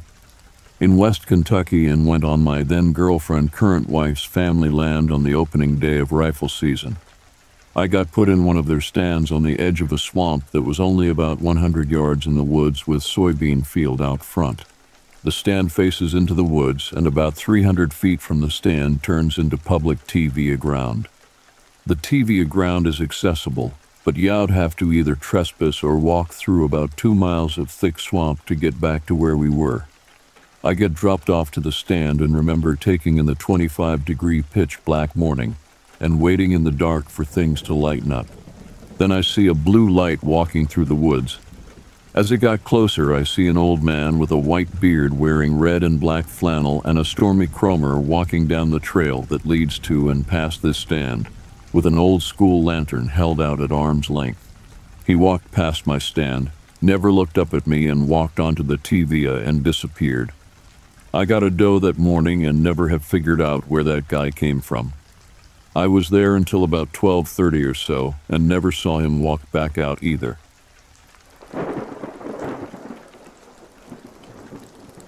This is a story I heard a few years ago from my flatmate at the time. I won't be able to elaborate on details, but will try to recall from my memory as best as I can. Happened in Hungary. P.S. English is not mine, nor his first language, so sorry if there are discrepancies in government institutions or anything else. His dad was a hunter, so took him hunting quite a lot. And if memory serves me right, dad was employed by something like National Guard, so not someone who's easily scared. Anyway, this one night they are out flatmate around 10 at the time and camped in the meadow near forest. Early autumn, so not too cold. At some point while having dinner, they heard rustling in the nearby woods. Not surprising, a lot of wildlife around. Can't recall the in between, but eventually they went to investigate. They spotted a wild boar, and Dad was about to take a shot when something large rose up on their right. It was dark, so they could not see much but they were also too close to the thing, around 300 meters max. Grass was not too tall, so it appeared that it was either crouching without moving or laying. But once it rose, it was clearly walking on two feet, but it wasn't not a human. Dark fur, clearly canine features, and glowing eyes. It looked them over and just walked away. They were frozen in place, and my flatmate said he'd never been so scared in his life. They took off running, jumped into the car, and drove away. His dad had another sighting of something similar while on patrol, but I don't remember that story well and unfortunately haven't bumped into the guy since. The story fascinated me, but I also remember that while telling this, he was scared and guarded. This is not much at all, but hope someone finds this interesting.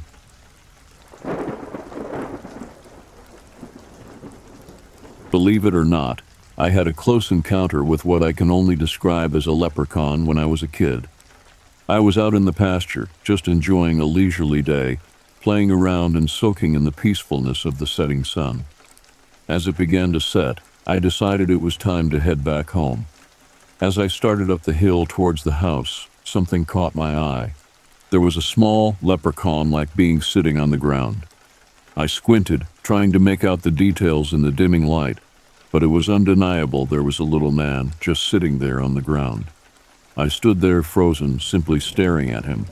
My mind was racing, trying to comprehend what my eyes were seeing. I was caught in this strange limbo between disbelief and fear, when suddenly my survival instincts kicked in. I turned and sprinted back to the house faster than I ever had before. The following day, curiosity got the better of me, and I ventured back out to the spot where I had seen the peculiar figure. Sure enough, the grass was all flattened where the little man had been sitting, a silent testimony to the previous day's encounter. I have to clarify that his clothes weren't the stereotypical bright green you'd associate with leprechauns. However, using the term, leprechaun was the easiest way to describe the being I saw. He was a small figure, sporting a beard and earth-toned clothes, and even had a small, pointy hat. That encounter remains one of the most surreal experiences of my life.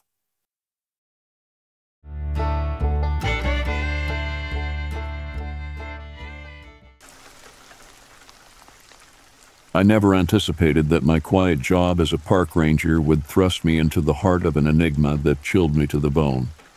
My responsibilities mainly revolved around maintaining the trails and keeping a watchful eye on the wilderness through the trail cameras scattered across the park. Little did I know, those cameras would become the gateway to a mystery that would consume my thoughts and haunt my dreams. It all started on a routine day. I was in the monitoring room, sipping on lukewarm coffee and watching the live feed from the trail cameras. The usual scenes of wildlife and hikers played out on the screens until one particular camera caught my attention. The footage showed an eerie figure standing at the edge of the trail, its form barely distinguishable in the shadows. I dismissed it at first, thinking it might be a trick of the light or a hiker dressed oddly. However, as I continued my surveillance, more unsettling images began to appear. Figures that seemed to emerge from the trees, their faces obscured, engaged in peculiar rituals and movements that sent shivers down my spine. It wasn't long before I realized that something was deeply amiss within the boundaries of the park. Determined to unravel the mystery, I delved into the archives of the trail camera footage. The further back I went, the stranger the occurrences became. Whispers of forgotten stories echoed through the visual spectral forms, inexplicable lights, and peculiar symbols etched into the bark of ancient trees. Late one night, fueled by curiosity and a growing sense of unease, I decided to venture into the park myself. Armed with a flashlight and a map, I followed the trails indicated by the camera's footage. The air was thick with an otherworldly tension as I navigated through the darkness, guided by the dim glow of my flashlight. As I neared a clearing that the cameras had captured repeatedly, an old, dilapidated structure emerged from the shadows. The remains of what seemed to be an abandoned cabin stood before me, barely visible under the veil of night. As I cautiously approached, the creaking of the floorboards beneath my boots resonated through the eerie silence. Inside, I discovered remnants of a forgotten era tattered furniture, decaying wallpaper, and the lingering scent of decay. A dusty journal lay on a wooden table, its pages filled with cryptic entries detailing a local legend about a group of settlers who had vanished mysteriously centuries ago. The more I read, the more the pieces of the puzzle fell into place. The figures in the trail camera footage, the strange rituals, they all seemed to tie back to this long forgotten story. It spoke of a curse that befell the settlers, an ancient ritual gone awry, and a presence that lingered in the woods, seeking redemption or revenge. Armed with this newfound knowledge, I realized that the park held a dark secret, hidden in plain sight. The figures in the footage were not anomalies but echoes of the past, trapped in a perpetual loop. As a park ranger, it became my responsibility to uncover the truth and bring closure to the restless spirits that wandered the trails. In the days that followed, I worked tirelessly to piece together the forgotten narrative consulting local historians and delving into historical records. With the information I gathered, I reached out to paranormal experts who specialized in cleansing rituals and spirit communication. Together, we embarked on a journey to free the park from the haunting specters of its past.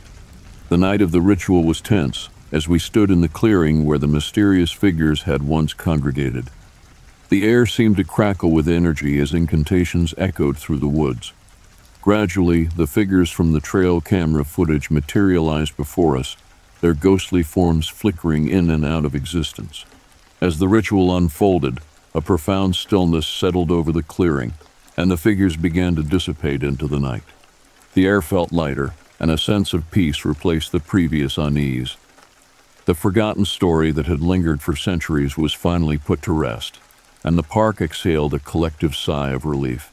In the aftermath, the trail cameras captured nothing but the ordinary beauty of nature, the rustle of leaves, the graceful movement of deer, and the gentle flow of the river. The unsettling figures that had haunted the screens were gone, leaving behind a park that felt rejuvenated, as if it had shed the weight of centuries of unresolved history. As a park ranger, I continued my duties with a newfound appreciation for the delicate balance between the present and the past. The forgotten story had become a chapter in the park's history, a reminder that sometimes the most unsettling mysteries are the echoes of stories long left untold.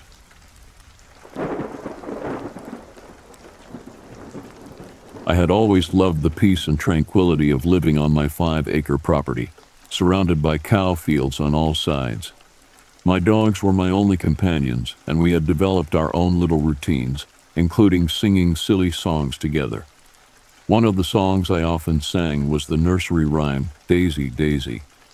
It had become something of a tradition for me to sing this song to my pups as they wandered around our home, mostly indoors since they were indoor dogs. On a crisp fall evening, I found myself alone in the house with the windows wide open, enjoying the cool breeze that swept through. As I hummed the familiar tune of Daisy, Daisy to myself, I suddenly heard something that made my blood run cold.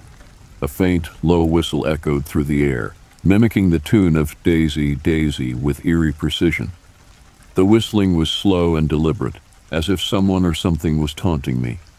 At the end of the verse, the whistling ceased, leaving an unsettling silence in its wake. Fear gripped my heart, and I couldn't bring myself to look outside to investigate the source of the haunting sound.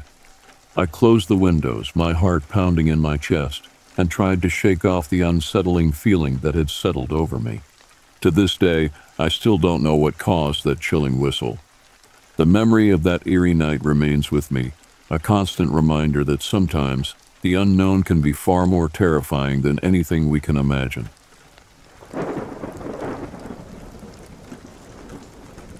I've woken up a few times in the middle of the night for no reason with my heart racing.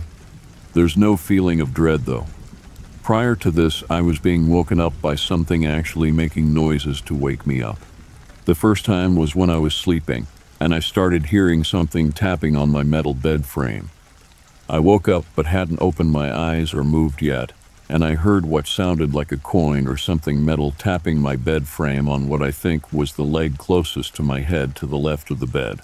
It went something like tap, tap, tap, tap, tap, pause, tap, tap, tap, tap. It was definitely not rhythmic and like it was intentional. Something was trying to wake me up. I sat up in bed and it stopped. Another night I heard something tapping on my glass vanity table, like it picked something up from my table and started tapping. As soon as I moved, it stopped. This was actually my childhood home that I moved back into with my family, and my parents moved to the house next door. It was never haunted as a child. I had just moved into this house from a house next door that my parents owned, and that house was haunted. Did it follow me to the house next door? I don't know. But one night after the fifth time of waking up for no reason and my heart racing, I did something this might sound odd, but this is what I experienced. I don't know why I did this, but I imagined I had a bright, white light of protection in my center that grew around me. I imagined it getting bigger and bigger and pushing anything entity away. I think I made this protection field expand and encompass my house. When I did this, I felt such peace. The feeling I felt was indescribable. I felt light, warm, peaceful, not scared and drifted off to sleep in a couple minutes, whereas before, when I would wake up like this, it would take me hours to calm down and go back to sleep. If somebody would have told me this story of the protective white light, I would most likely be skeptical because I've never heard of it. I googled protective white light, and it's actually a thing. I don't know what made me do that, but it helped. By the way, this is just a small portion of what's happened to me. When I lived in the other house, a whole lot of stuff happened.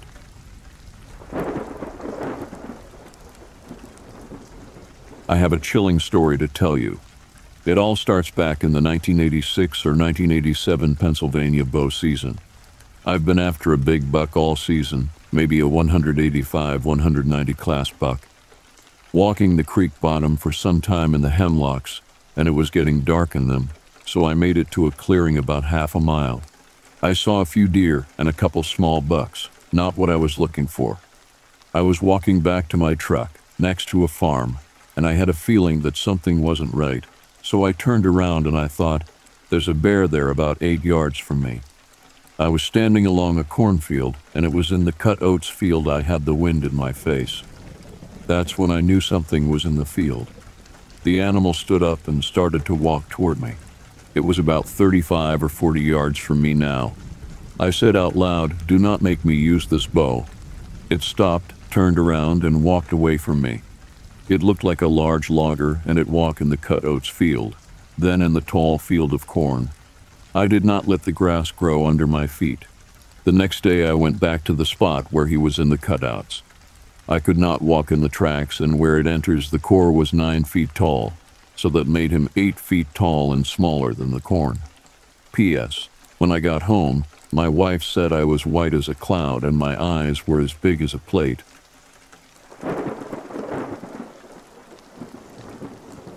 I am from Waterville, Maine. Back in the late summer or early fall of 1971, I was newly married and living in Killeen, Texas with my husband who was in the U.S. Army. We had a small duplex apartment in Killeen. One night he had duty and I was home alone in bed around 3 a.m. in the morning. I woke up suddenly and saw a black figure standing at the bottom of my bed.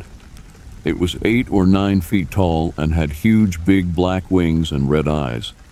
I closed my eyes and opened them again, and it had moved closer to me on the right side of my bed. I couldn't scream. It was as if I was frozen in fear. I covered my head in the blankets. I was so afraid. About five minutes later, I looked and it was gone. It gave me a horrible feeling, and I prayed never to see it again. Shortly after this event, I came back to Maine as I was way too frightened to ever stay alone at night when he was on duty. I told my mom I had seen a huge black angel that night, and she was glad I came home as that didn't sound good. I had never heard of the Mothman, but a few years later I came across an article and a drawing of one. Even before I read the article, I said, wow, that is exactly what I saw in Texas. It didn't have a noticeable neck and its face was hooded, its wings tucked in on its side, but you could tell they were very large. It was totally black except the eyes were round, large, and red. I still think of this thing with fear. Personally, do you have any idea what it is? I'm 57 now and I am still searching for an answer. P.S. The apartment I lived in had a well in the entranceway that always gave me the creeps. A cistern, I believe it is called. Just a flat rock covered it, and it still had water in it. I couldn't see the water, but I heard the plop when I dropped a rock in it. This probably has nothing to do with any of this, but felt I should tell you anyways.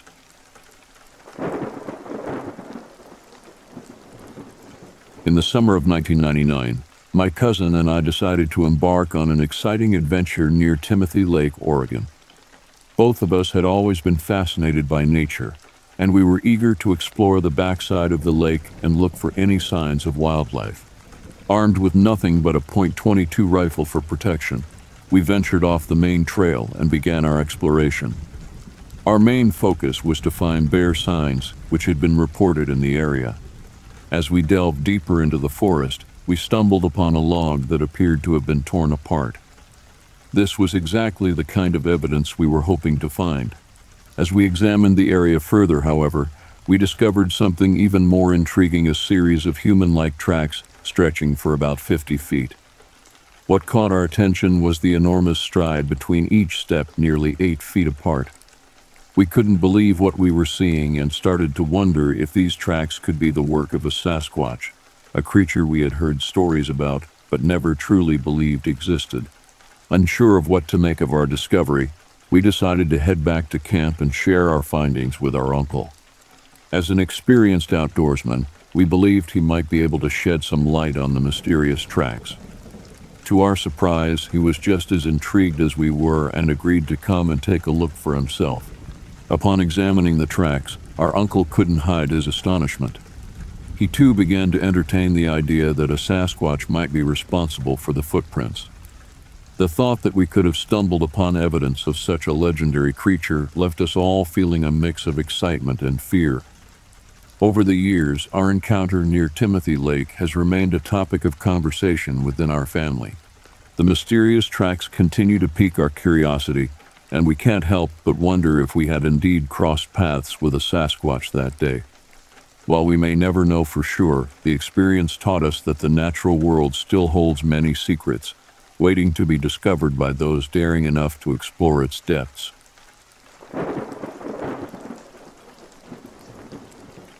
To give you an idea of why I was out in the middle of the woods at midnight, I run cross country collegiately.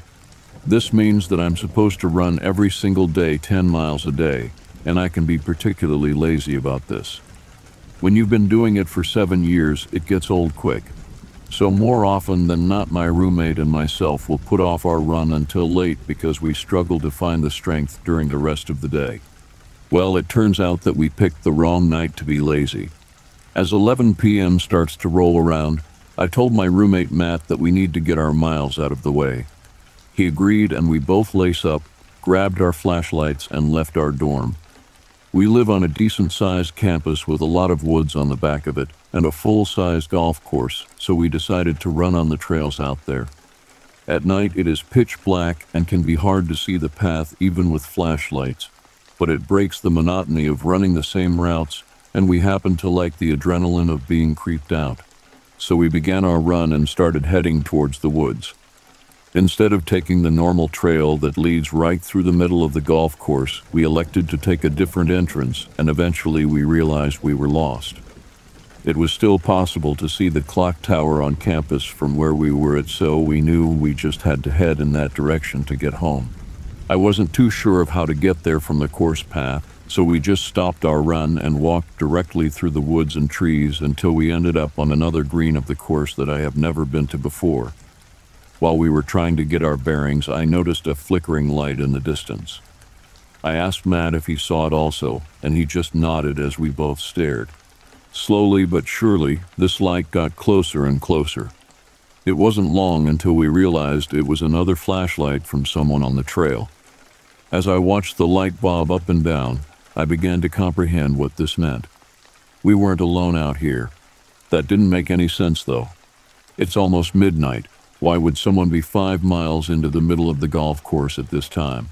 Why are they alone? What could they possibly be doing? We were sure it wasn't maintenance because the maintenance building shuts down at 5 p.m., and they wear bright green to give notice to golfers' safety reasons. Soon enough, the silhouette of a tall man came into view, and the distance between us and him was only brought down to 50 feet or so. He stopped dead in his tracks, and we just continued to stare. This really only lasted a minute, but it felt like forever.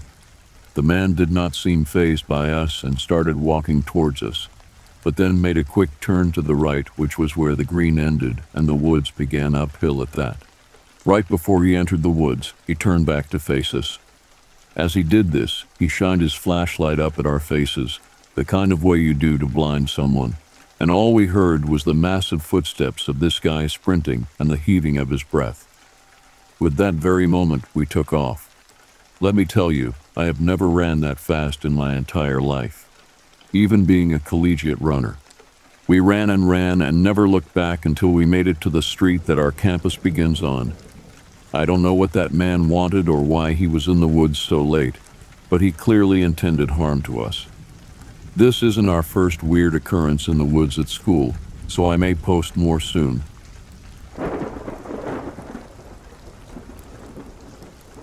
One day, my best friend and I were taking a shortcut to her house.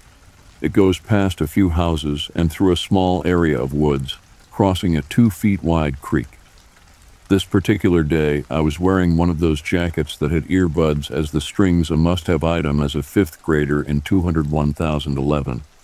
As we were passing one of the houses, a couple big dogs come running from it, jumping on us and obviously just wanting to play petted.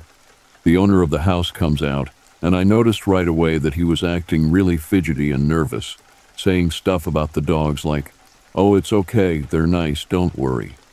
We made small talk with him about the dogs for a few minutes and turned around to leave. About or minute or so later, we arrived at the small creek when I noticed that one of the rubber earbuds that was on my jacket was gone, and I insisted on going back to look for it. The guy came back out again and offered to help us.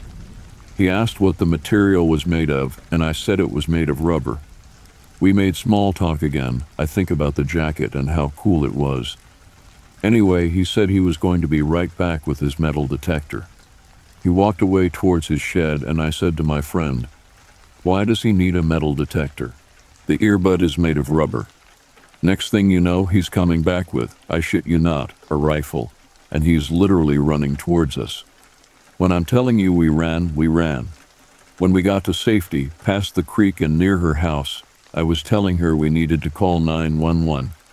She insisted that we not do that because her parents would be mad at her. I explained to her with urgency why it's important we called the cops, but she refused and I couldn't force her. I didn't call because I didn't want to do it alone, plus it would have been my first time calling them. I can't remember when if I told my parents that night what happened, but when I told them, they gaslit me and said I was crazy overreacting, that I didn't really see that. I still think about this damn near every day and it haunts me. The second time was again in fifth grade, taking place after the first story, but I'm not sure how long after. The friend from the previous story lived near a cemetery, about a five minute walk from her house. It was a big cemetery and we liked to walk around it a lot. Plus, behind the cemetery was a shortcut through the woods to a big park, which was coincidentally right next to our school. This day, we were also with another good friend of ours. We were just walking around the cemetery this day when all of a sudden, a blue truck pulls up next to us in the row, next to where we were walking about 10 feet away or so, not far. I could see two guys were in it literally just staring at us, and I again got that weird feeling I got with the first guy. This is hard to explain, but right before the shortcut in the woods is a fence with a cutout that leads to a field of grass and a hill next to it that leads into the neighborhood of where my other friend lived. The hill was really a bunch of dead grass, weeds, sticks, cattles, etc. Anyway, I told my friends I had a bad feeling about these guys, that they were staring at us and quite literally slowly following us with the truck. We booked it to that grass field and through that hill. I had all sorts of cuts and gashes from all the shit that we were running through. When we got to the top of the hill, we turned around and the truck was parked at the top of the hill on the other side, with both men outside of it holding guns rifles. I truly believe they were coming after us, and they were visibly mad that we got away from them. I knew they were after us because they have had to have driven through the cutout in the fence, amongst the gut feelings and just the entire situation. We ran to my friend's house, noticed her parents who truly didn't seem too worried, and drove my other friend and me home. I don't even remember if I told my parents about this time since they gaslit me when I told them about the last time. I just can't shake the fact that this shit really happened when I was in fifth grade, 1011 years old. I also can't believe how lightly my parents took the situation. I'm honestly traumatized about what happened and I think about it a lot. I just needed to tell some people what happened, but I have trouble getting my thoughts into words.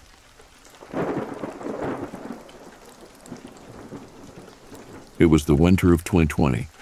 I was driving north on Highway 21 at approximately 10:10 p.m., just outside of Hillsboro, Missouri, just past Jefferson College. I was just passing the northbound off ramp from Hayden Road onto northbound Highway 21 at mile marker 169.6. I'm not sure of the day of the week. I work the night shift every weekday and also work the same shift every other weekend, so all of the nights just seem to run together. I just remember it was very cold and the road was deserted.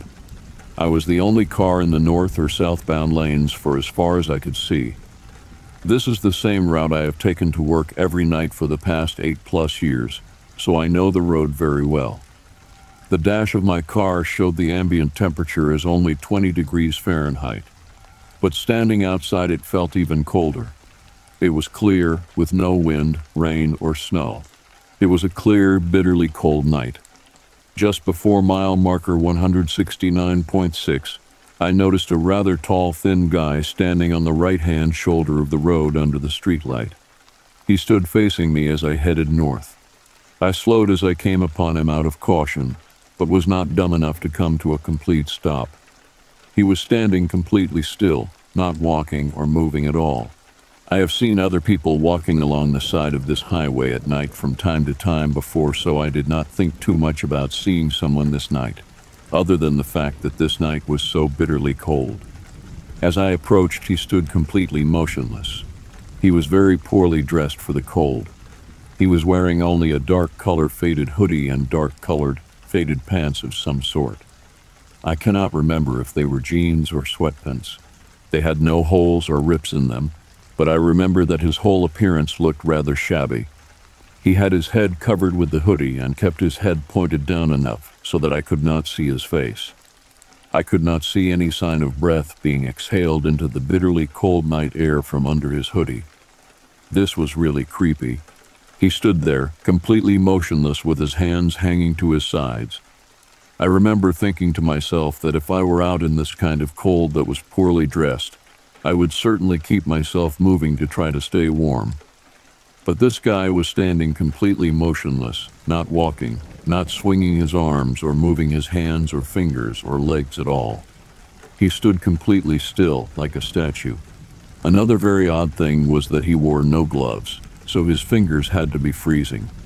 He did not have either of his hands in his hoodie pocket or his pant pockets for warmth. The hoodie seemed to fit his frame proportionally well, except the sleeves were too short. His arms were way too long for the sleeves.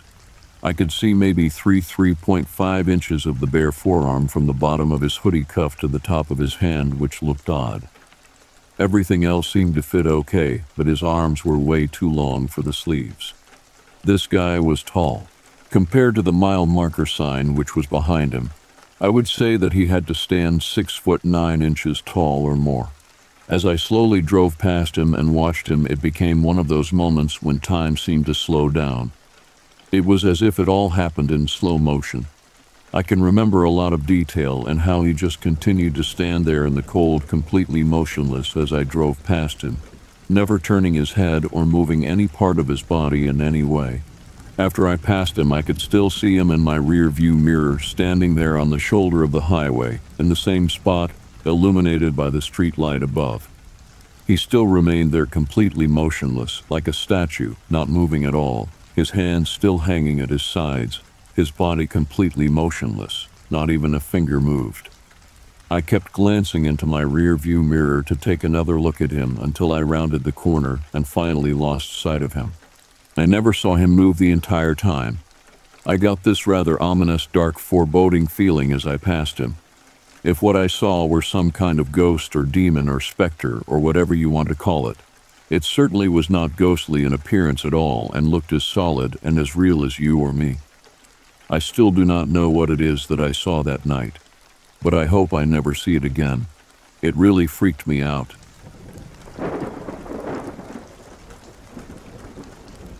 I was about 16 years old at home alone for the night. I fell asleep just fine, but I woke up later at around 3. I couldn't fall back asleep, and then I started hearing this weird high pitched ring in my ears. It kept getting louder, and then out of nowhere, my door starts creaking open. It's the loudest door on earth, and I hear really slow, dragging footsteps walking into my room. I turn to see if anyone was there, and the doorway is completely empty, and I heard the footsteps start moving towards my bed with the ringing in my ears getting louder. I flipped out and rolled over facing away from the footsteps, feeling pretty helpless. I thought it went away when I heard the stepping stop until I felt something sit on my bed. I honestly have never prayed harder in my life. Eventually, it just kind of stopped all at once, and I just laid there wide awake for the rest of the night. I told my mom about it a day later, and she said that she used to hear the same dragging footsteps too. I changed rooms away from the basement after that.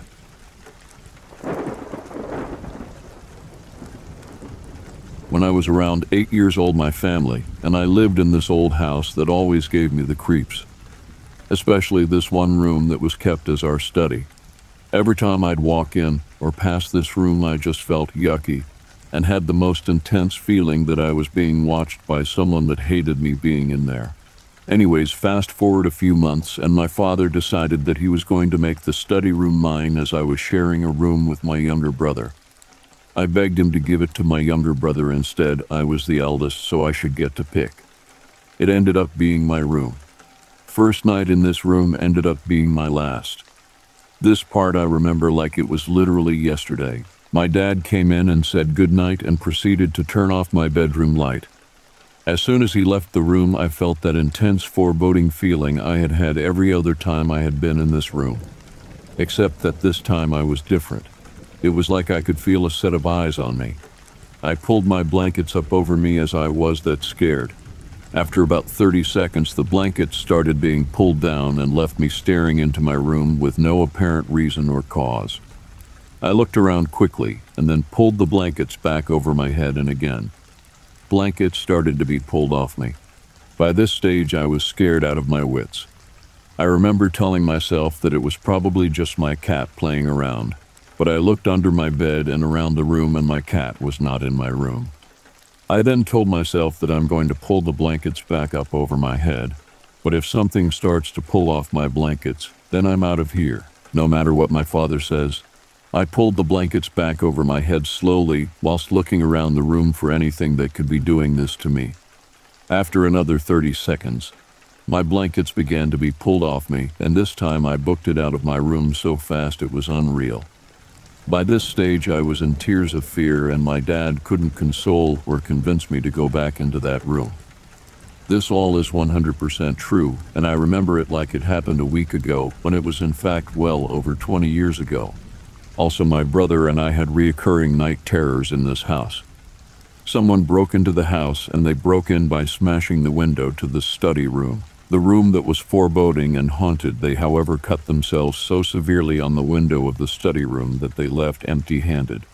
There was loads of blood all over the window and side of the house where they had tried to crawl in through the smashed window and into the study room. That room was just wrong.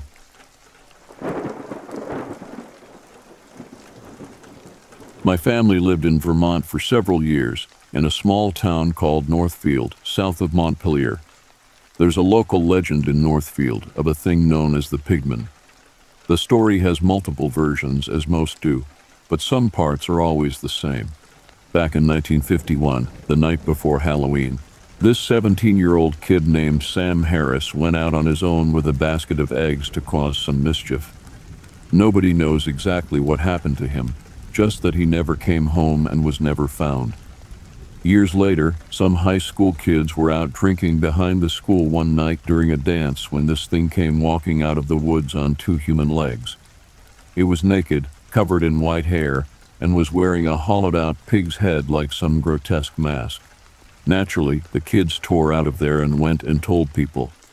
Word spread, and some farmer admitted he'd seen a figure matching that description digging through his garbage one night.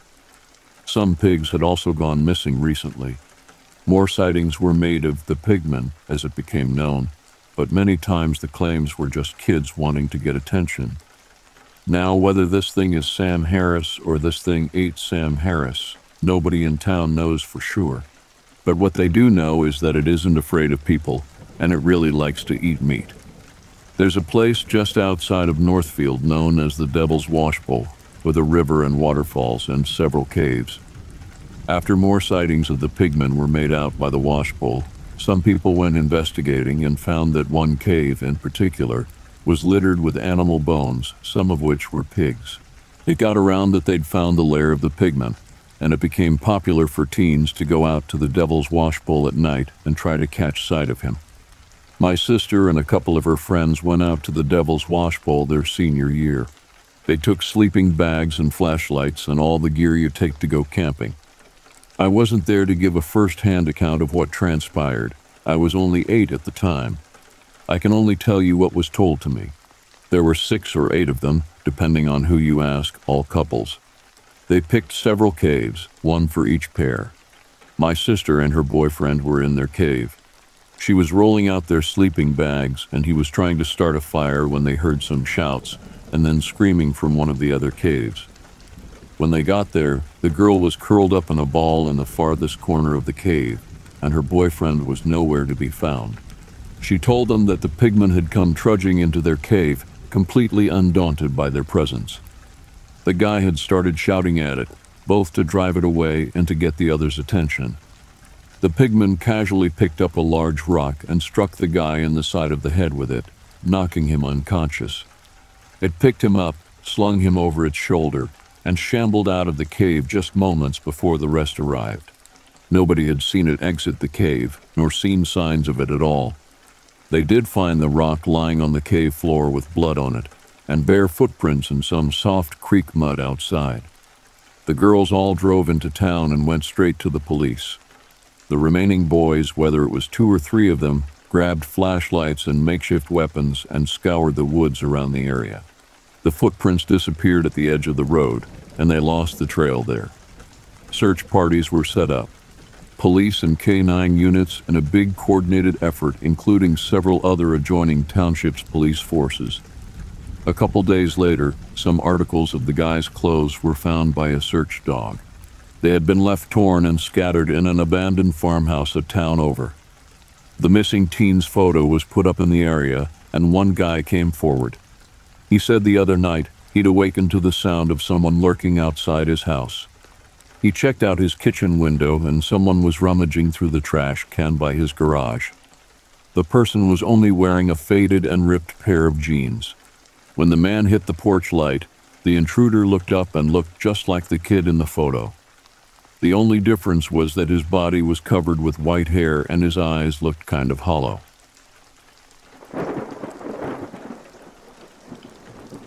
The call came in on a sweltering Texas afternoon, the kind that makes the air feel heavy and the horizon shimmer with heat.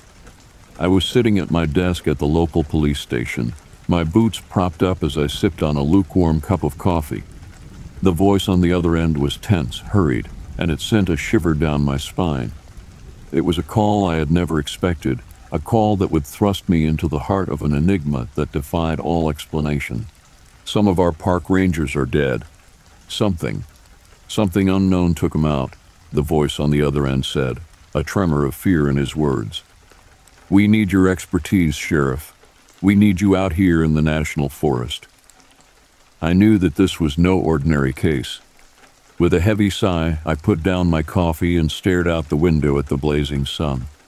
I was a police officer, born and raised in the vast expanses of Texas, but nothing could have prepared me for what lay ahead. I agreed to head out to the national park, where the unforgiving terrain held secrets I couldn't even begin to fathom. When I arrived at the national park, I was met with a somber group of officers, their expressions a mix of anxiety and determination. We were issued stun guns, a peculiar choice for a law enforcement operation. The Forest Service Administration had given us a clear mandate capture, not kill. There was something out there, something that might be a new species of cryptid, and they wanted to be the first to have one detained. The gravity of the situation settled over us as we ventured into the dense forest, our footsteps muffled by the layers of leaves and underbrush. With every step, the feeling of being watched intensified, and the shadows seemed to stretch and twist in unnatural ways. I exchanged glances with the other officers, a silent understanding passing between us. We were venturing into the unknown, and none of us knew what awaited us. Hours turned into a day that felt endless, the tension mounting as the forest seemed to close in around us.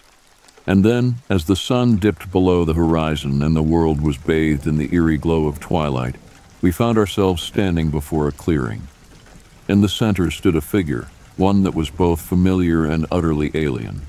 The creature was massive, its form stretched upward on two hind legs. Its arms were impossibly long, reaching the ground like a gorilla, but its spine was crooked, contorting its entire frame. Moonlight danced on its gray skin, and its eyes shone like twin orbs of light in the darkness. Its face was grotesque, a deformed mask that held no semblance of humanity. The officers around me raised their stun guns, and the air was filled with a crackling of electricity as we fired in unison. But the creature moved with unnatural speed, a blur of motion as it tackled officers to the ground. Panic surged through me as I fired my stun gun, the darts embedding in the creature's flesh. And then, almost miraculously, the creature fell to the ground, stunned by the sheer number of darts. We approached it cautiously, our breaths heavy in the still night air. Just as we began to bind its limbs, the forest erupted with movement, and a group of figures emerged from the shadows. They wore black, their faces obscured by masks, and their presence sent a chill down my spine. CIA operatives, no doubt about it. Step away, one of them commanded, their tone cold and commanding. This is a matter of national security. As we moved back, they pulled out a black cadaver bag, a chilling indication of their intentions. They ordered us to leave to be silent, their threats laced with an air of finality. The weight of their words hung in the air as we retreated, the forest swallowing us whole once more. I couldn't shake the feeling that we had stumbled onto something beyond our understanding, something that was meant to remain hidden. As I drove away from the national park, I couldn't help but glance back, my mind swirling with questions and a sense of unease that would linger long after this encounter.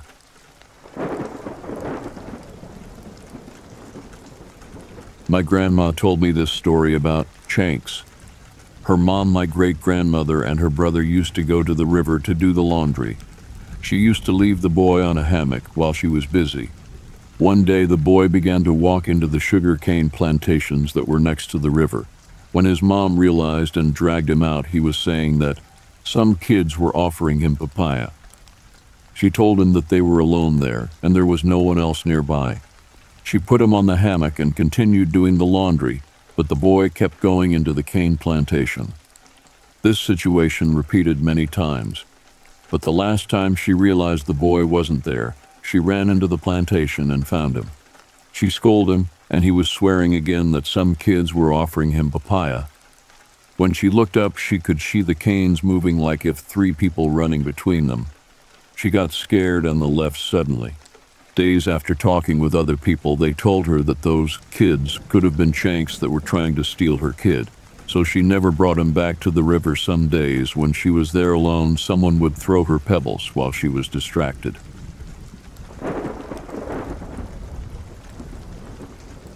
I was sleeping in my studio and suddenly darted awake, fully alert, almost instinctual. A deep sense of dread and anxiety came over me as soon as I awoke and a feeling of a presence was in my kitchen 20 feet away. It was a completely new and isolated experience. This has never happened to me. I mean, I shot up awake and felt deep dread like a draining presence. It was like a totally different sense was activated, honestly chilling. It wasn't from a nightmare. I didn't see or hear anything. I don't have depression or anxiety, nothing that would rationalize this experience. So, anyways, I'm looking at the kitchen and sensing something and feeling a level of dread and anxiety I have never ever felt in my life. So, I call my dog on the bed and hug him and try to block it out. I ask him to please protect me, be my guardian, and I buried my head into him just wanting this to pass. Nothing has happened since. Until, several months later, my best friend dog sits for me, lives in my studio for a week. Fast forward another couple months, and she hears my original story for the first time. She tells me while she dog sat, she had that same experience. A sudden wake up on high alert and scared, anxious, and feeling something in the kitchen. I thought that was really trippy and profound and confirms I wasn't crazy. What was it? What did it want? Did it wake me, or did my own senses protect me? Did something else protect me? It's so interesting and I wonder if any other have had stories similar to this. By the way, my dog was chillin', thank God. I would have been even more freaked out if he sensed a presence.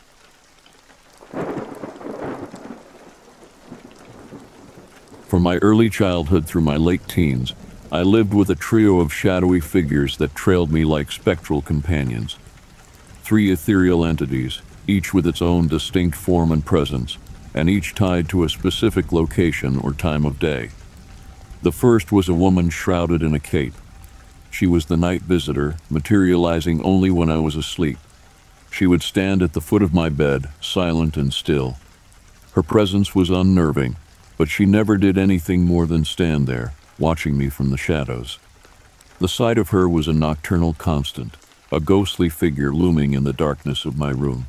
The second was a childlike figure that haunted our backyard, always hiding behind the starfruit tree.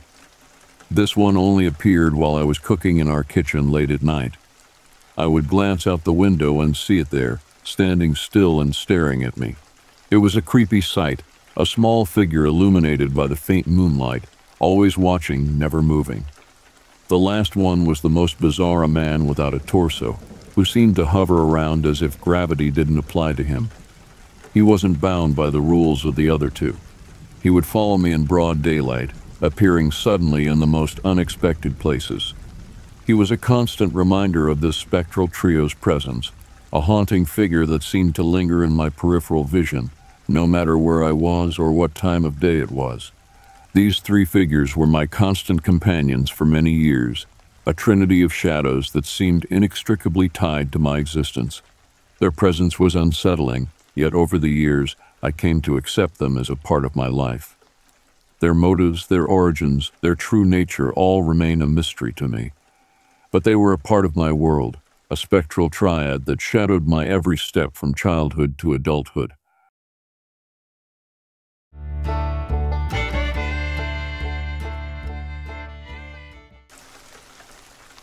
It was the summer of June 2013, and the high temperatures were not helping farmers.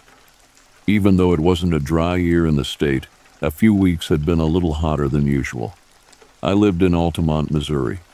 When some of us would go water the plants at night, we noticed the strange sounds. I got a phone call from my son at 2 in the morning. He was very agitated. I figured something was very wrong. For two weeks, the family had been living in a state of stress and insomnia. Every other night, we'd drive to their land to water their cornfield. There were noises that we had never heard before. See, we didn't know what it was. We know there are animals out here, we know that. But this sound gave me goosebumps. It goes like a tapping sound as if somebody was chattering their teeth, only much more faster and louder, then silence, then shrieking. These aren't coyotes or wolves or anything like that. I saw something, and that is not from this land. That I'm sure.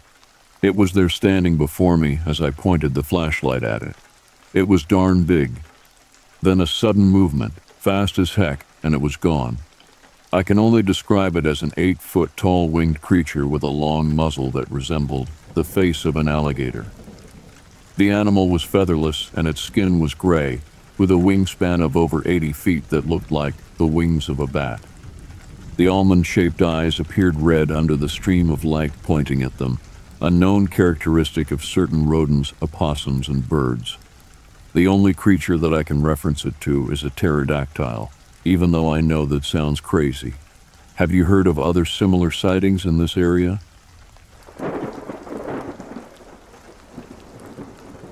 I truly believe I was abducted by aliens a couple of months ago.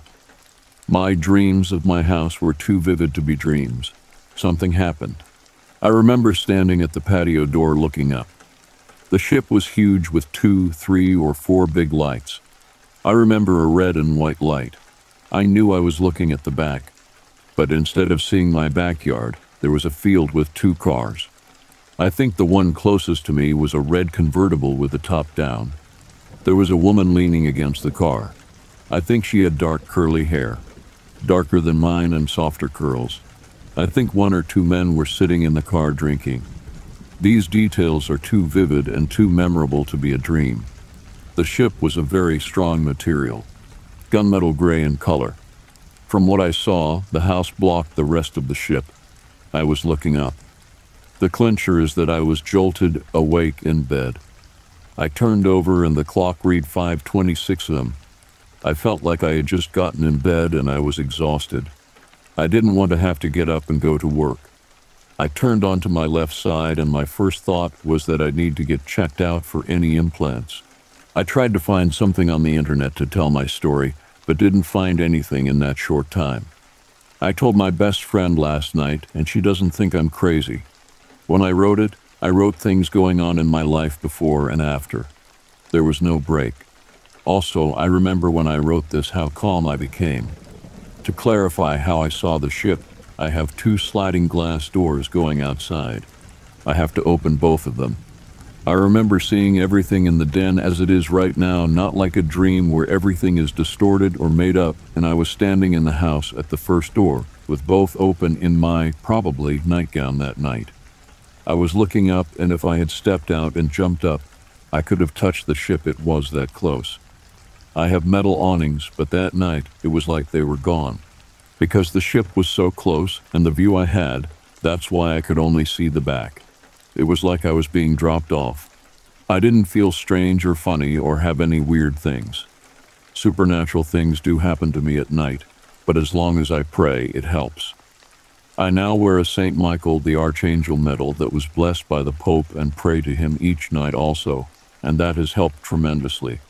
To clarify being exhausted, have you ever gone out one night and partied and got drunk, not too drunk, but enough to know you're drunk and you came in at four or five or six of them. Then you throw yourself in bed and you're asleep before you've stopped moving. That's what I felt like. I had gone to bed the night before as usual, but when I was jolted awake, I looked at the clock see above and literally felt like I had been dropped into my bed and that I had not gotten any sleep. My best friend is the only one I told about this because I'm too scared to talk to anyone else. Maybe I watch too many TV shows and movies. but I have not spoken to anyone about this. I've thought long and hard and I wanted to report this, but I don't want anything bad to happen to me.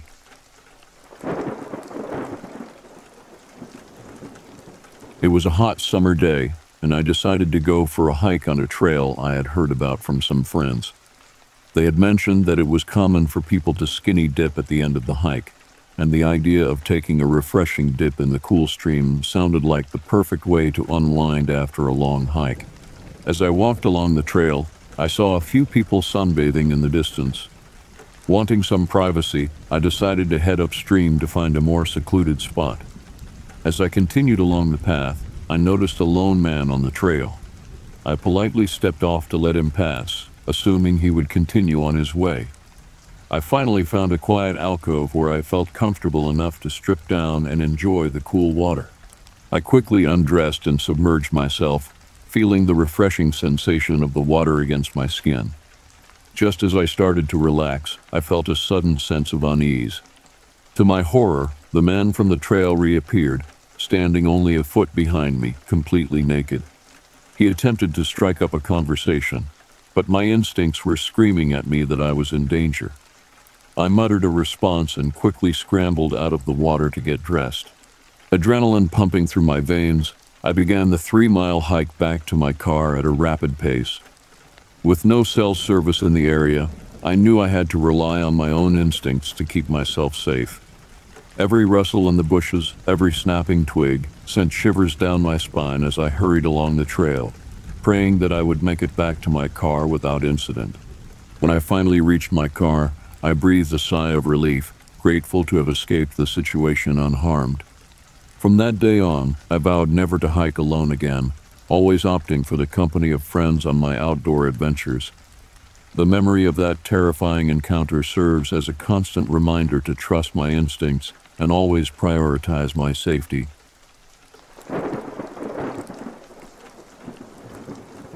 It was a quiet night as I drove down the narrow country road, taking my friend back to his village after a long day of hanging out. The clock in the car read just after midnight, and the only source of light came from the dim glow of the headlights cutting through the darkness.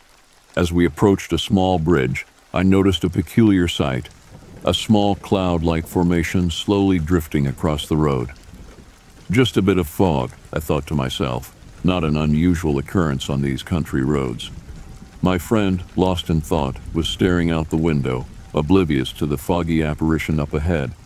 As we got closer, I expected our car to pass through the fog, but what happened next left me baffled and frightened. Instead of us driving through the fog, the fog seemed to pass through the car itself. It seemed to defy the laws of nature as the misty cloud moved right between the two of us and out through the back of the car. Startled, I jumped in my seat, gripping the steering wheel tightly. My friend, who hadn't been paying attention to the road, was equally shocked by the phenomenon. He confirmed that he had also witnessed the fog passing through the car, leaving us both bewildered and struggling to make sense of what had just happened. We spent the rest of the drive discussing our eerie encounter trying to come up with a rational explanation for the strange fog. But to this day, the experience remains unexplained, a chilling memory that lingers in our minds whenever we find ourselves driving down those lonely country roads late at night.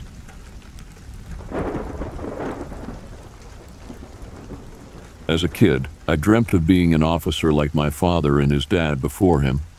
It kind of ran in the family. So every time I was sitting in the passenger seat of my partner's cop car, it was even more special. It was my very first night, and my partner kept joking on me, ripping on me, and calling me a rookie. But I didn't mind. I was very familiar with the hazing process. It was a boring night. My partner made attempts to break the silence by asking me all sorts of various questions. Other than that, it was silent. Not much was happening. We looked around for somebody to apprehend, but to no avail so far. Not much of a first day. We kept on driving with nothing happening until I saw a figure standing on the corner. I told my partner, Is that something there? I pointed to the figure that I can now see was a taller man, standing with his head to the ground. She looked around for a bit before shaking her head and concluding it was probably just a homeless man. We drove off. I looked out the window as we passed. He turned his head and watched as we drove off.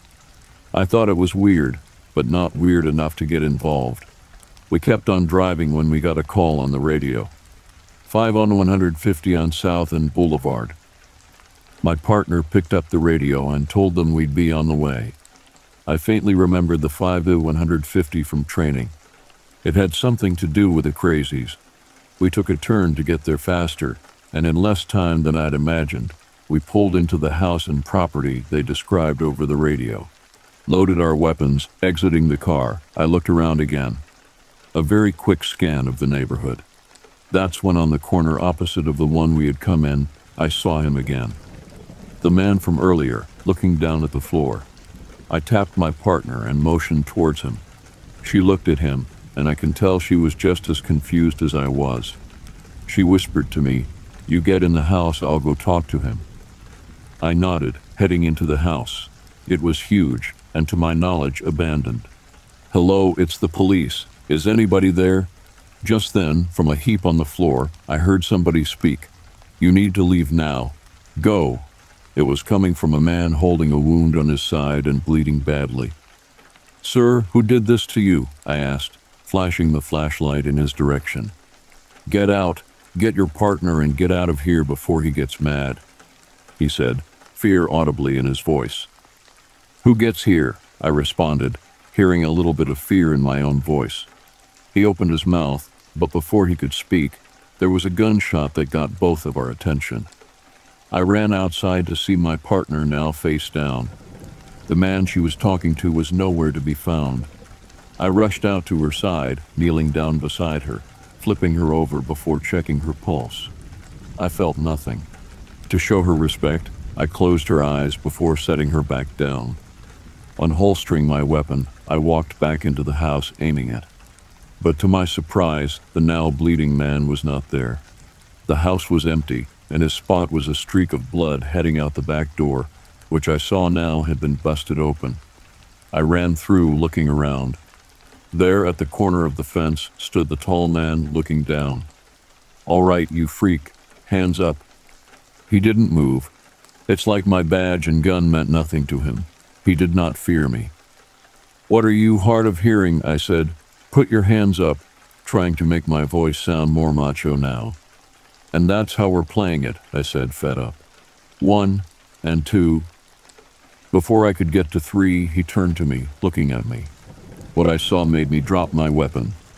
His stare felt cold, but he could not be staring at me. There were two empty spots on his face where his eyes would usually go. I stumbled backwards into the house, nearly losing my balance but catching myself in the sink, vomiting a bit. I was still shaken up by everything that's happened. It all happened so quickly. I stood over the sink, waiting for the urge to vomit to make a reappearance, and I'd heard footsteps approaching. It was the man I saw before. He came in, wiping the blood from his shirt. He was not injured at all. I'm sorry, it was truly nothing personal, he claimed with a smug smirk on his face. You see, my boy has this craving for human flesh, and a boy's gotta eat. He continued to walk towards me. What is wrong with his eyes? I said frantically, considering I was more than likely going to die. He was born without them. Doctors can't explain it, but my boy didn't let it get him down. He doesn't need eyes. He goes by his hearing and his smell. He looked out the door, and here he comes now. I knew what was coming. Just thinking about that freakishly tall, eyeless man and my partner made me sick. I vomited all over the man and myself. He took a step back and called me a disgusting fool, explained to me there would be no mercy, and I ran as fast as I could, grabbing my radio and calling for backup immediately. I actually had to drive down the street to try and hide from this person until my backup arrived. He and his son were detained, and as it turns out, he had actually cut out his son's eyes as a part of some sort of sick, satanic, sadistic cult and fed him H flesh his entire life treating him like a wild animal. As far as I know, him and his son are still serving time in prison.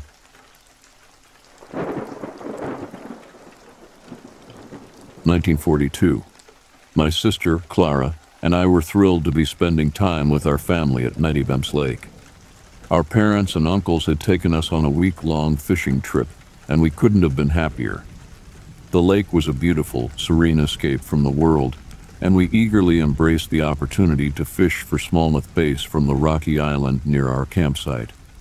Each evening, as the sun began to set, Clara and I would head out to the island with our fishing gear, eagerly anticipating the catch we would bring back to our family. The island was a magical place, with its rugged rocks and the sound of water lapping against the shore. It was there that we felt closest to nature and the wonders it held. One night, as we sat on the rocks with our lines cast out into the water, we heard a strange howling noise echoing across the lake. It was unlike anything we had ever heard before a melodious singing from someone with a husky voice, haunting and beautiful. Clara and I exchanged puzzled glances, unsure of what could be making such a sound. The singing continued for several minutes before it abruptly stopped leaving us even more curious and a little unnerved. We decided to pack up our gear and head back to camp, eager to share our strange experience with our family. The following evening, Clara and I returned to the island, unable to resist the lure of the lake and the chance to catch more fish. As we sat on the rocks, the sun setting behind us, we once again heard the eerie singing. This time, however, we were not alone.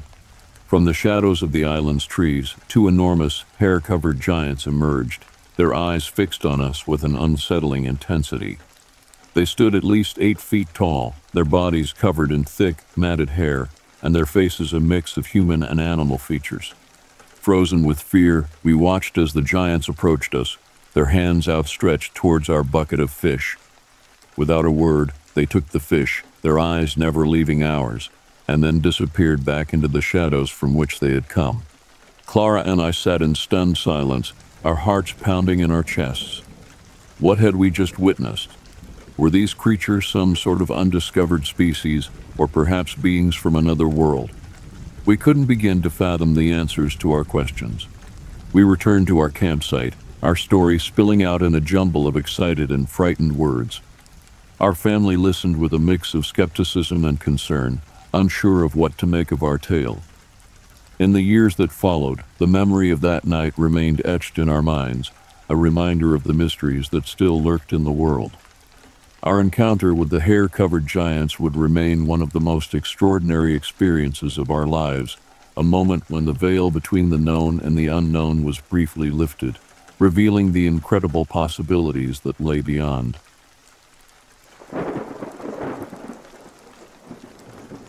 This took place last year at the beginning of summer.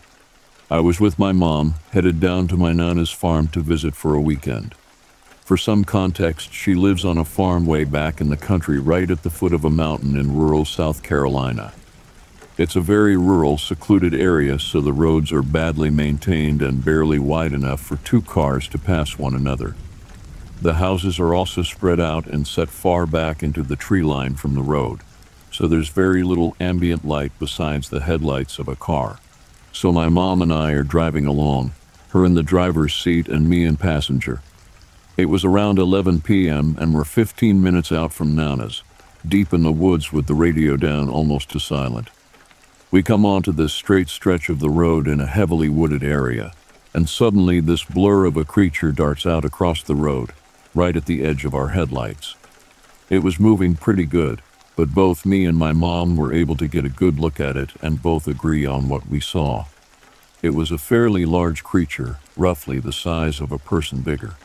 Neither of us could make out the head, but we both remember it appearing to have a segmented body, my mom's words, as if it were emaciated and its rib cage was poking out. The reflection of light made it hard for me to tell color, but my mom said she remembered it to be dark and she didn't see forehair. It had long limbs, and as it moved across the road, it didn't run the way a dog or horse would, with all four legs. The best word to describe it would be loping using its front limbs to pull itself along, and it was moving considerably fast. We both said something along the lines of, What the hell is that? as it crossed in front of us. As we got up to where it had crossed, I turned to look at it just as it reached the other side of the road and out of our headlights and I swear on my life, it stood up and ran. Not like a dog rearing on its hind legs, it was definitely bipedal. I immediately yelled that it had stood up, and we both started getting nervous. I honestly would have thought I was going insane had I not had another person in the car with me. My mom has always been a pretty level headed person and not superstitious, but she was very nervous and made me agree to not tell my Nana about it to avoid scaring her, which made me recognize how serious this was. I should also mention that there had apparently been a series of attacks on livestock horses in the area around the time this happened.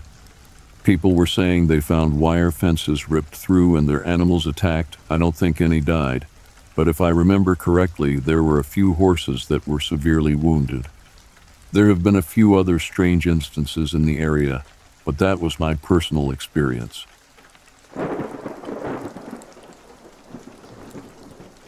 When my dad was a kid, he and my grandpa went to my grandpa's land to prepare the soil for planting crops.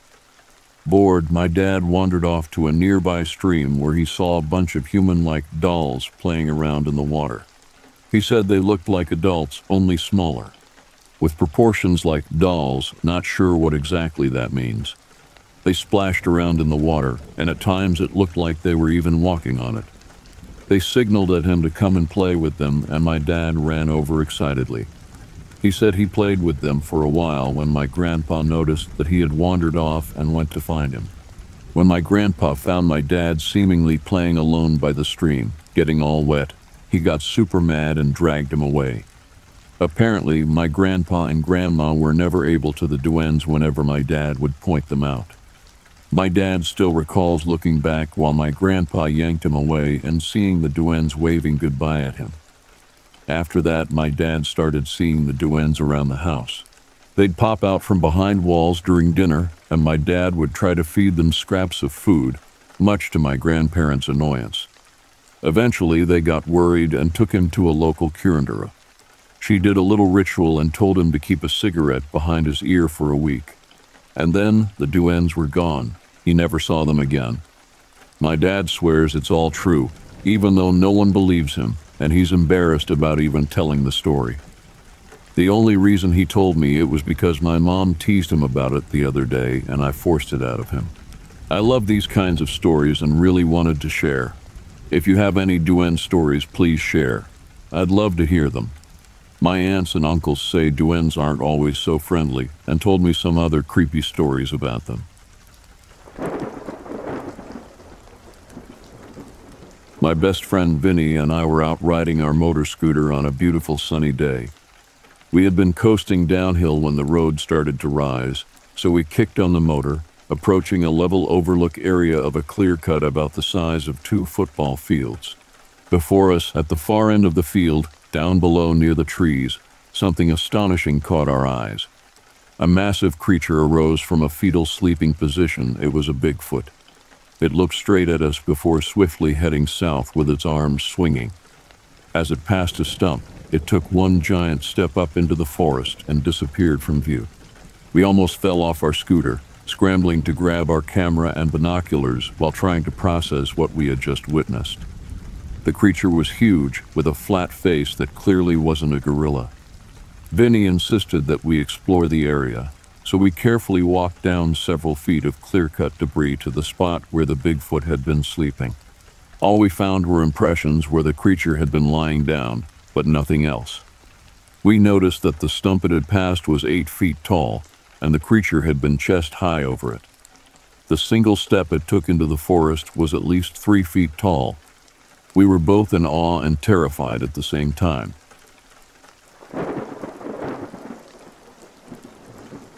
It was October 1993, and my cousin Jane and I were excited to embark on an elk hunting trip on Vinegar Hill. The area was known for its abundance of elk, and we were hoping to bag a big one. Little did we know that our hunting trip would turn into an unforgettable adventure. As we trekked along the creek, we came across a large muddy spot. To our surprise, we found five enormous Bigfoot tracks leading into the mud. Each track measured 20 inches long and they were spaced far apart. Jane and I exchanged puzzled glances, wondering if what we were seeing was real. The following year, during elk bow hunting season, we found ourselves back in the same area. The memory of the Bigfoot tracks still fresh in our minds, we couldn't help but feel a little uneasy. As we hunted in the daylight around 2 p.m., we suddenly heard a loud, piercing eek sound echoing through the forest. Startled, we both dashed back to camp, our hearts pounding.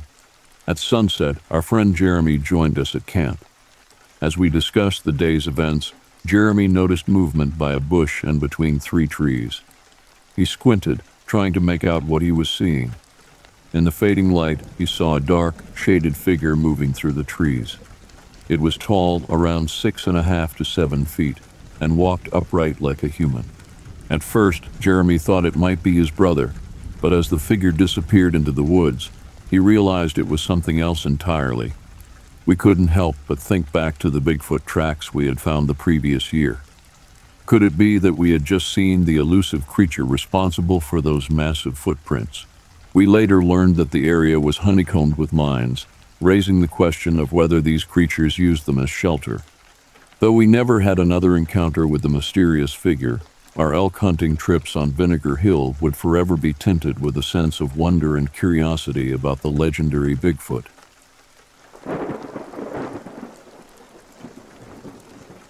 While on a deer hunting trip, my father stopped the vehicle on the side of the road to have lunch.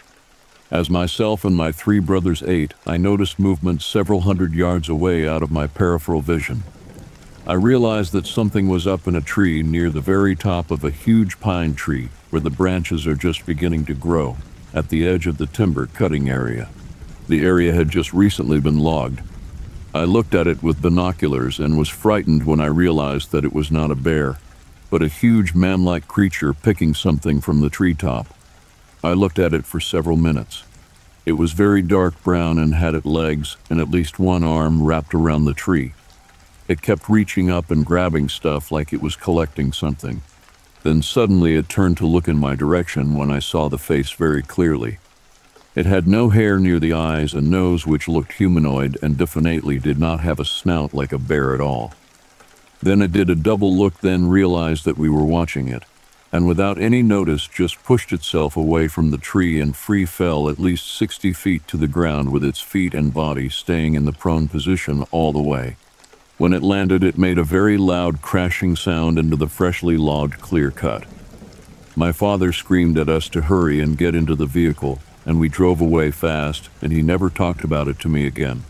My brothers did not see it because they were looking in the wrong direction with their binoculars. Very spooky, though.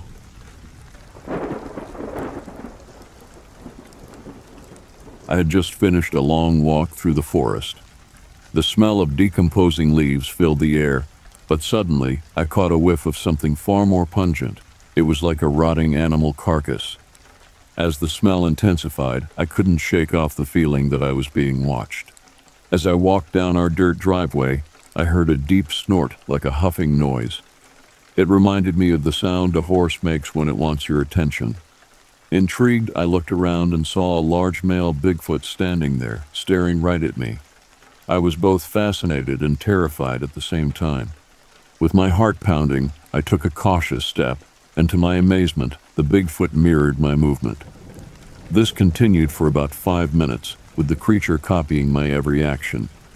Feeling a mix of excitement and fear, I decided to run back to my house to grab a camera.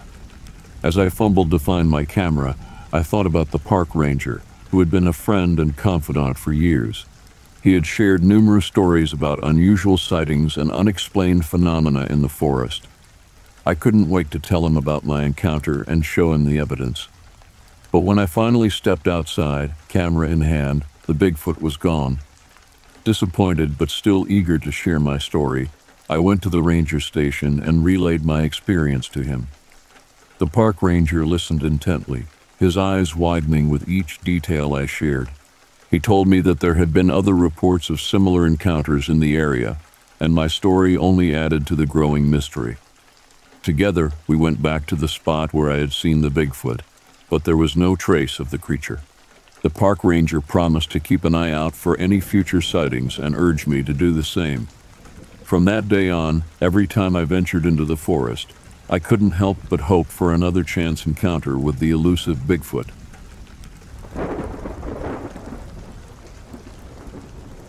It was the end of August, a perfect time for a vacation, and I, Donald, had decided to indulge my hobby of prospecting for gold. So there I was on the Chetco River, about 18 miles northeast of Brookings, hoping to strike it rich. And guess what? I found a vein. But that's not the story I want to tell you. What happened next was far more exciting and much more terrifying. After a day of exploring the area, driving the dirt roads in my trusty old Jeep, I had decided to take a break. I parked the Jeep by the road to let the engine cool, the very dry and steep slope lined with thick brush just a few feet away. Visibility into the undergrowth was no more than 15 feet, but it was peaceful, serene. Then, without warning, the tranquility was shattered. Something charged at me through the brush. I couldn't see what it was, but I could hear it, a rustling sound that grew louder and closer.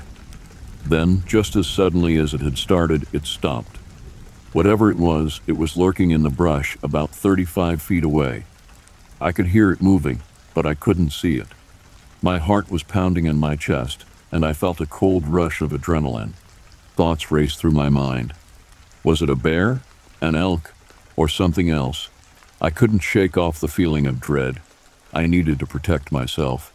I rushed to the trunk of my Jeep and pulled out my magnum gun.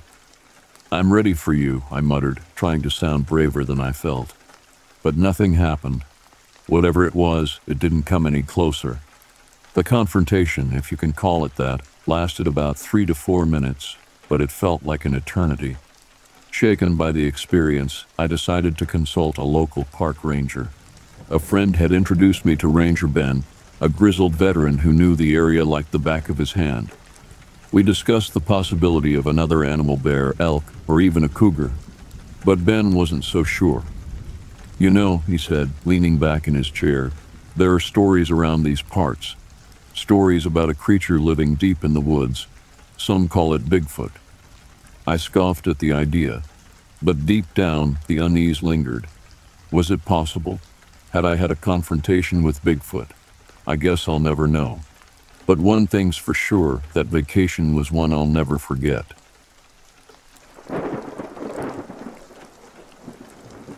This incident happened back in 1995 when I was 15 years old. It was very horrible. I witnessed two guys that may have been like government agents or some other secretive governmental agents. They kidnapped my dad and left someone in his place that looked just like him. I later found out that the person left behind was a reptilian cloaked as a human. This person became rather rude to me as time went on. However, he talked with me, and he could even heal with his bare hands. He told me that we humans were looked down upon as sheep, etc. And he knew I had witnessed the two agents kidnapping my dad, and he said I was next. I became very scared. He had me taken to a place against my will, and met with what looked like a special forces group who forced me to sign paperwork against my will, and the guy who looked identical to my dad was standing there. I was spying on him one night and saw what looked like a snake's tongue come out of his mouth. I later discovered he was a reptilian, a very short human who looked like a midget was helping him. I think he was a gray cloaked human. I heard them talk in English, but then started talking in alien lingo which sounded kind of Far Eastern. Yes, I am here to tell you they can cloak and simulate our world undercover. My real dad, the one I saw whisked away, was retired military, and I often suspected him of doing something or being involved with the government or doing something secretive that may have led to all this happening to me. I also found implants that feel like something under my skin. One was an upside down triangle or diamond shape. They also stabbed me and then heated me with their eyes, which left a very weird scar on my leg. I never told anyone as I was so scared of how these entities seemed to be able to operate with impunity and like nothing could stop them. They also conducted very horrible activities and what seemed like mental brainwashing experiments on me. After all these years, I'm still scared to this day but I believe it was time to come forward. I just wonder what happened to my real dad.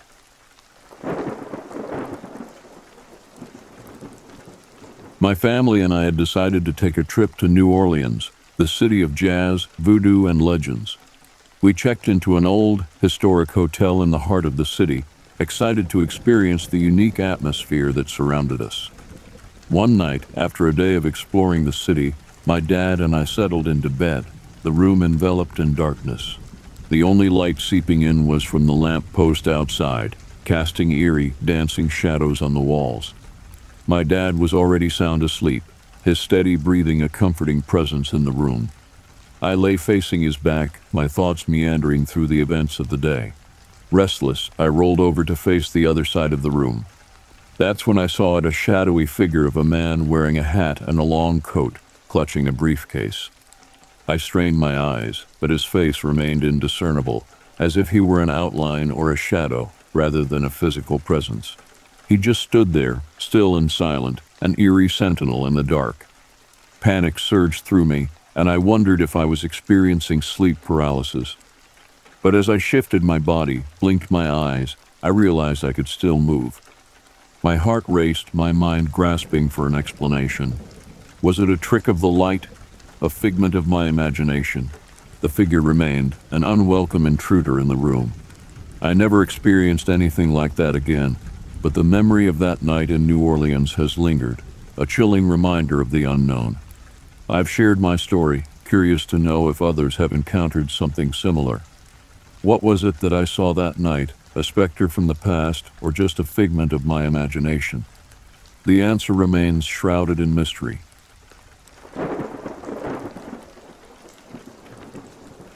The day after my girlfriend and I saw the Mothman prophecies in the movie theater, we found ourselves driving up a road situated in the middle of Jefferson City, Missouri. The movie was still fresh in our minds, and we couldn't help but feel a bit on edge. As we made our way up the big hill on Southwest Boulevard, an unexpected event took place. Out of nowhere, a bird-like creature that bore an uncanny resemblance to the one from the movie suddenly bounced off my windshield.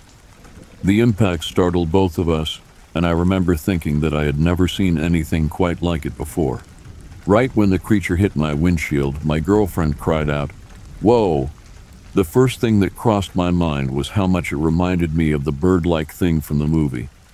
Just as I was thinking that, my girlfriend said, that looked like the thing in the Mothman prophecies.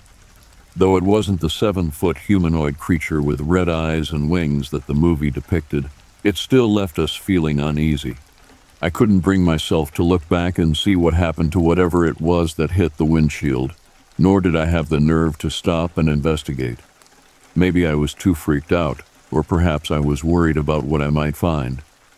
To this day, I still wonder about that peculiar sighting in Jefferson City, Missouri.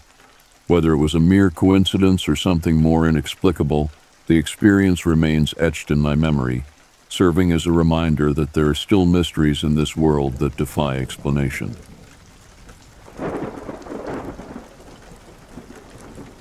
I have heard the story of the Quaker man who left Philadelphia to start a new life in the mountains of Pennsylvania. He was a man of strong faith, and after purchasing a large lot in Cooke Township, he found employment at the Old South Mountain Iron Works. The land was perfect for him, with a stream full of brook trout, plentiful timber, and lots of open space to raise a family. He soon met a young woman and fell deeply in love with her. They were married by the local justice of the peace, despite the fact that she was not of the same religious faith as he was. However, they were happy together, and she soon became pregnant. In the final month of her pregnancy, the young wife began to experience bouts of anger and intense pain. The doctor could not diagnose the cause of her malady and ordered her to complete bed rest. The Quaker had a horrible dream that the devil had come to visit their home while he was at work. He was sure that his wife was possessed by a demonic being and that he needed to purge her of this evil. For ten days straight, he knelt by her bedside, invoking prayers and charms, much to the chagrin of his wife. However, his wife soon became disgusted by the fuss her husband was making. In a fit of rage, she grabbed a small wooden cross and flung it out of the window. She declared that there was no God and that the devil was only a creation of a feeble mind. That very night, the Quaker's wife went into labor.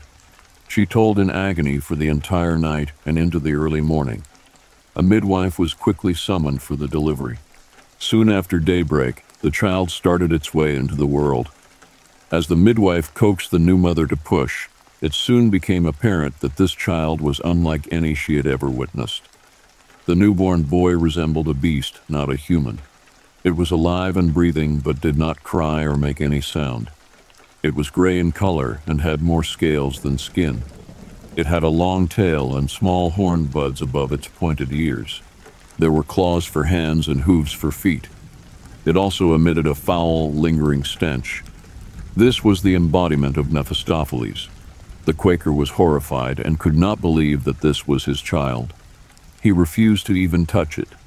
The midwife, who had seen many things in her time, was shocked and did not know what to do. The child lived for only a few minutes before passing away. The Quaker's wife died soon after giving birth.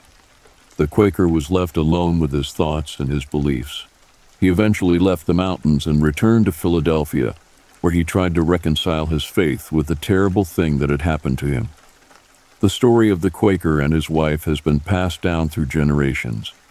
Some say it was a curse, others say it was a punishment for the wife's blasphemy. But the truth remains a mystery, lost to time and to the mountains of Pennsylvania.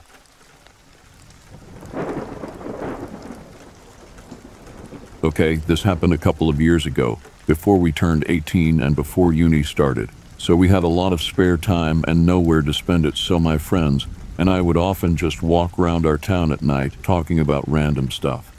On the night in question, it was just me and one friend, and we were just walking without really paying attention to where we were going since we were in pretty deep conversation.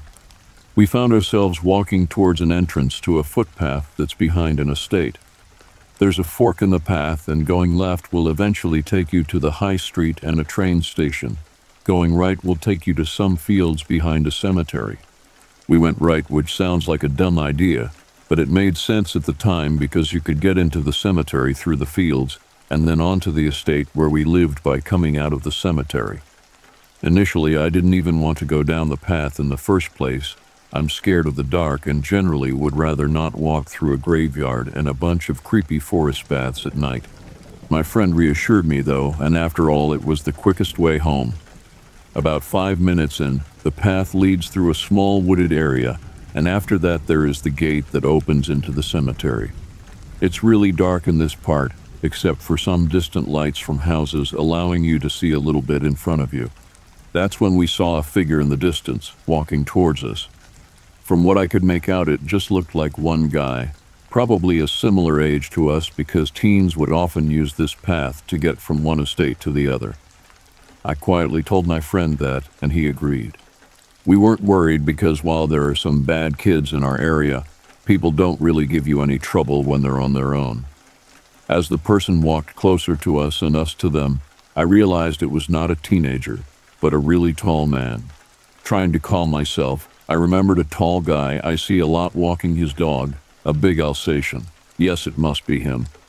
I scanned the area for his dog, but I saw nothing. However, the man was holding something long in his hand. I thought it was a lead for his dog, but it wasn't flexible, and in the dark and in my paranoid state, I thought it looked like the handle of an axe or a spade. My friend and I hadn't said a word since the man got close, but I just knew he was thinking the exact same thing as me. I didn't want the man to notice that I was staring at him, so I just looked down and walked as fast as I could without running.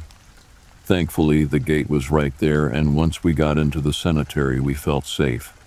Once we got out into the open, we started talking about what we saw, and my friend agreed it looked like an axe or really big stick and said I was expecting to get a blow to the head as soon as we got near him.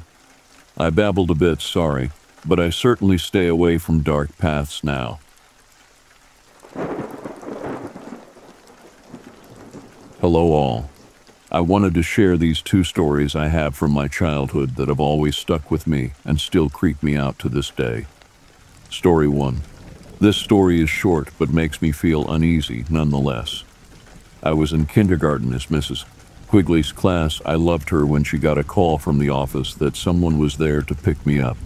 I think this was before the time of like emergency contact forms with designated people to sign you out. Because this happened so long ago, I can't remember if there was a name given or not. But I do remember being five years old and not feeling right. I told Mrs. Quigley I didn't know that person and didn't want to go with them. She didn't make me and I rode the bus home as usual that day. I can't help but think that situation was something bad because I don't remember it ever being a problem that I didn't get picked up that day like it wasn't planned, and it wasn't inconvenient that I didn't go with them. Story 2 My cousin and I were playing outside in a wooded area near her house, and this wooded area was also next to a road. I just remember we were playing in there, then this pickup truck stopped on the road next to us. I don't remember what he said. I just remember taking off and my cousin tripping over a branch and falling. I was too scared to help her.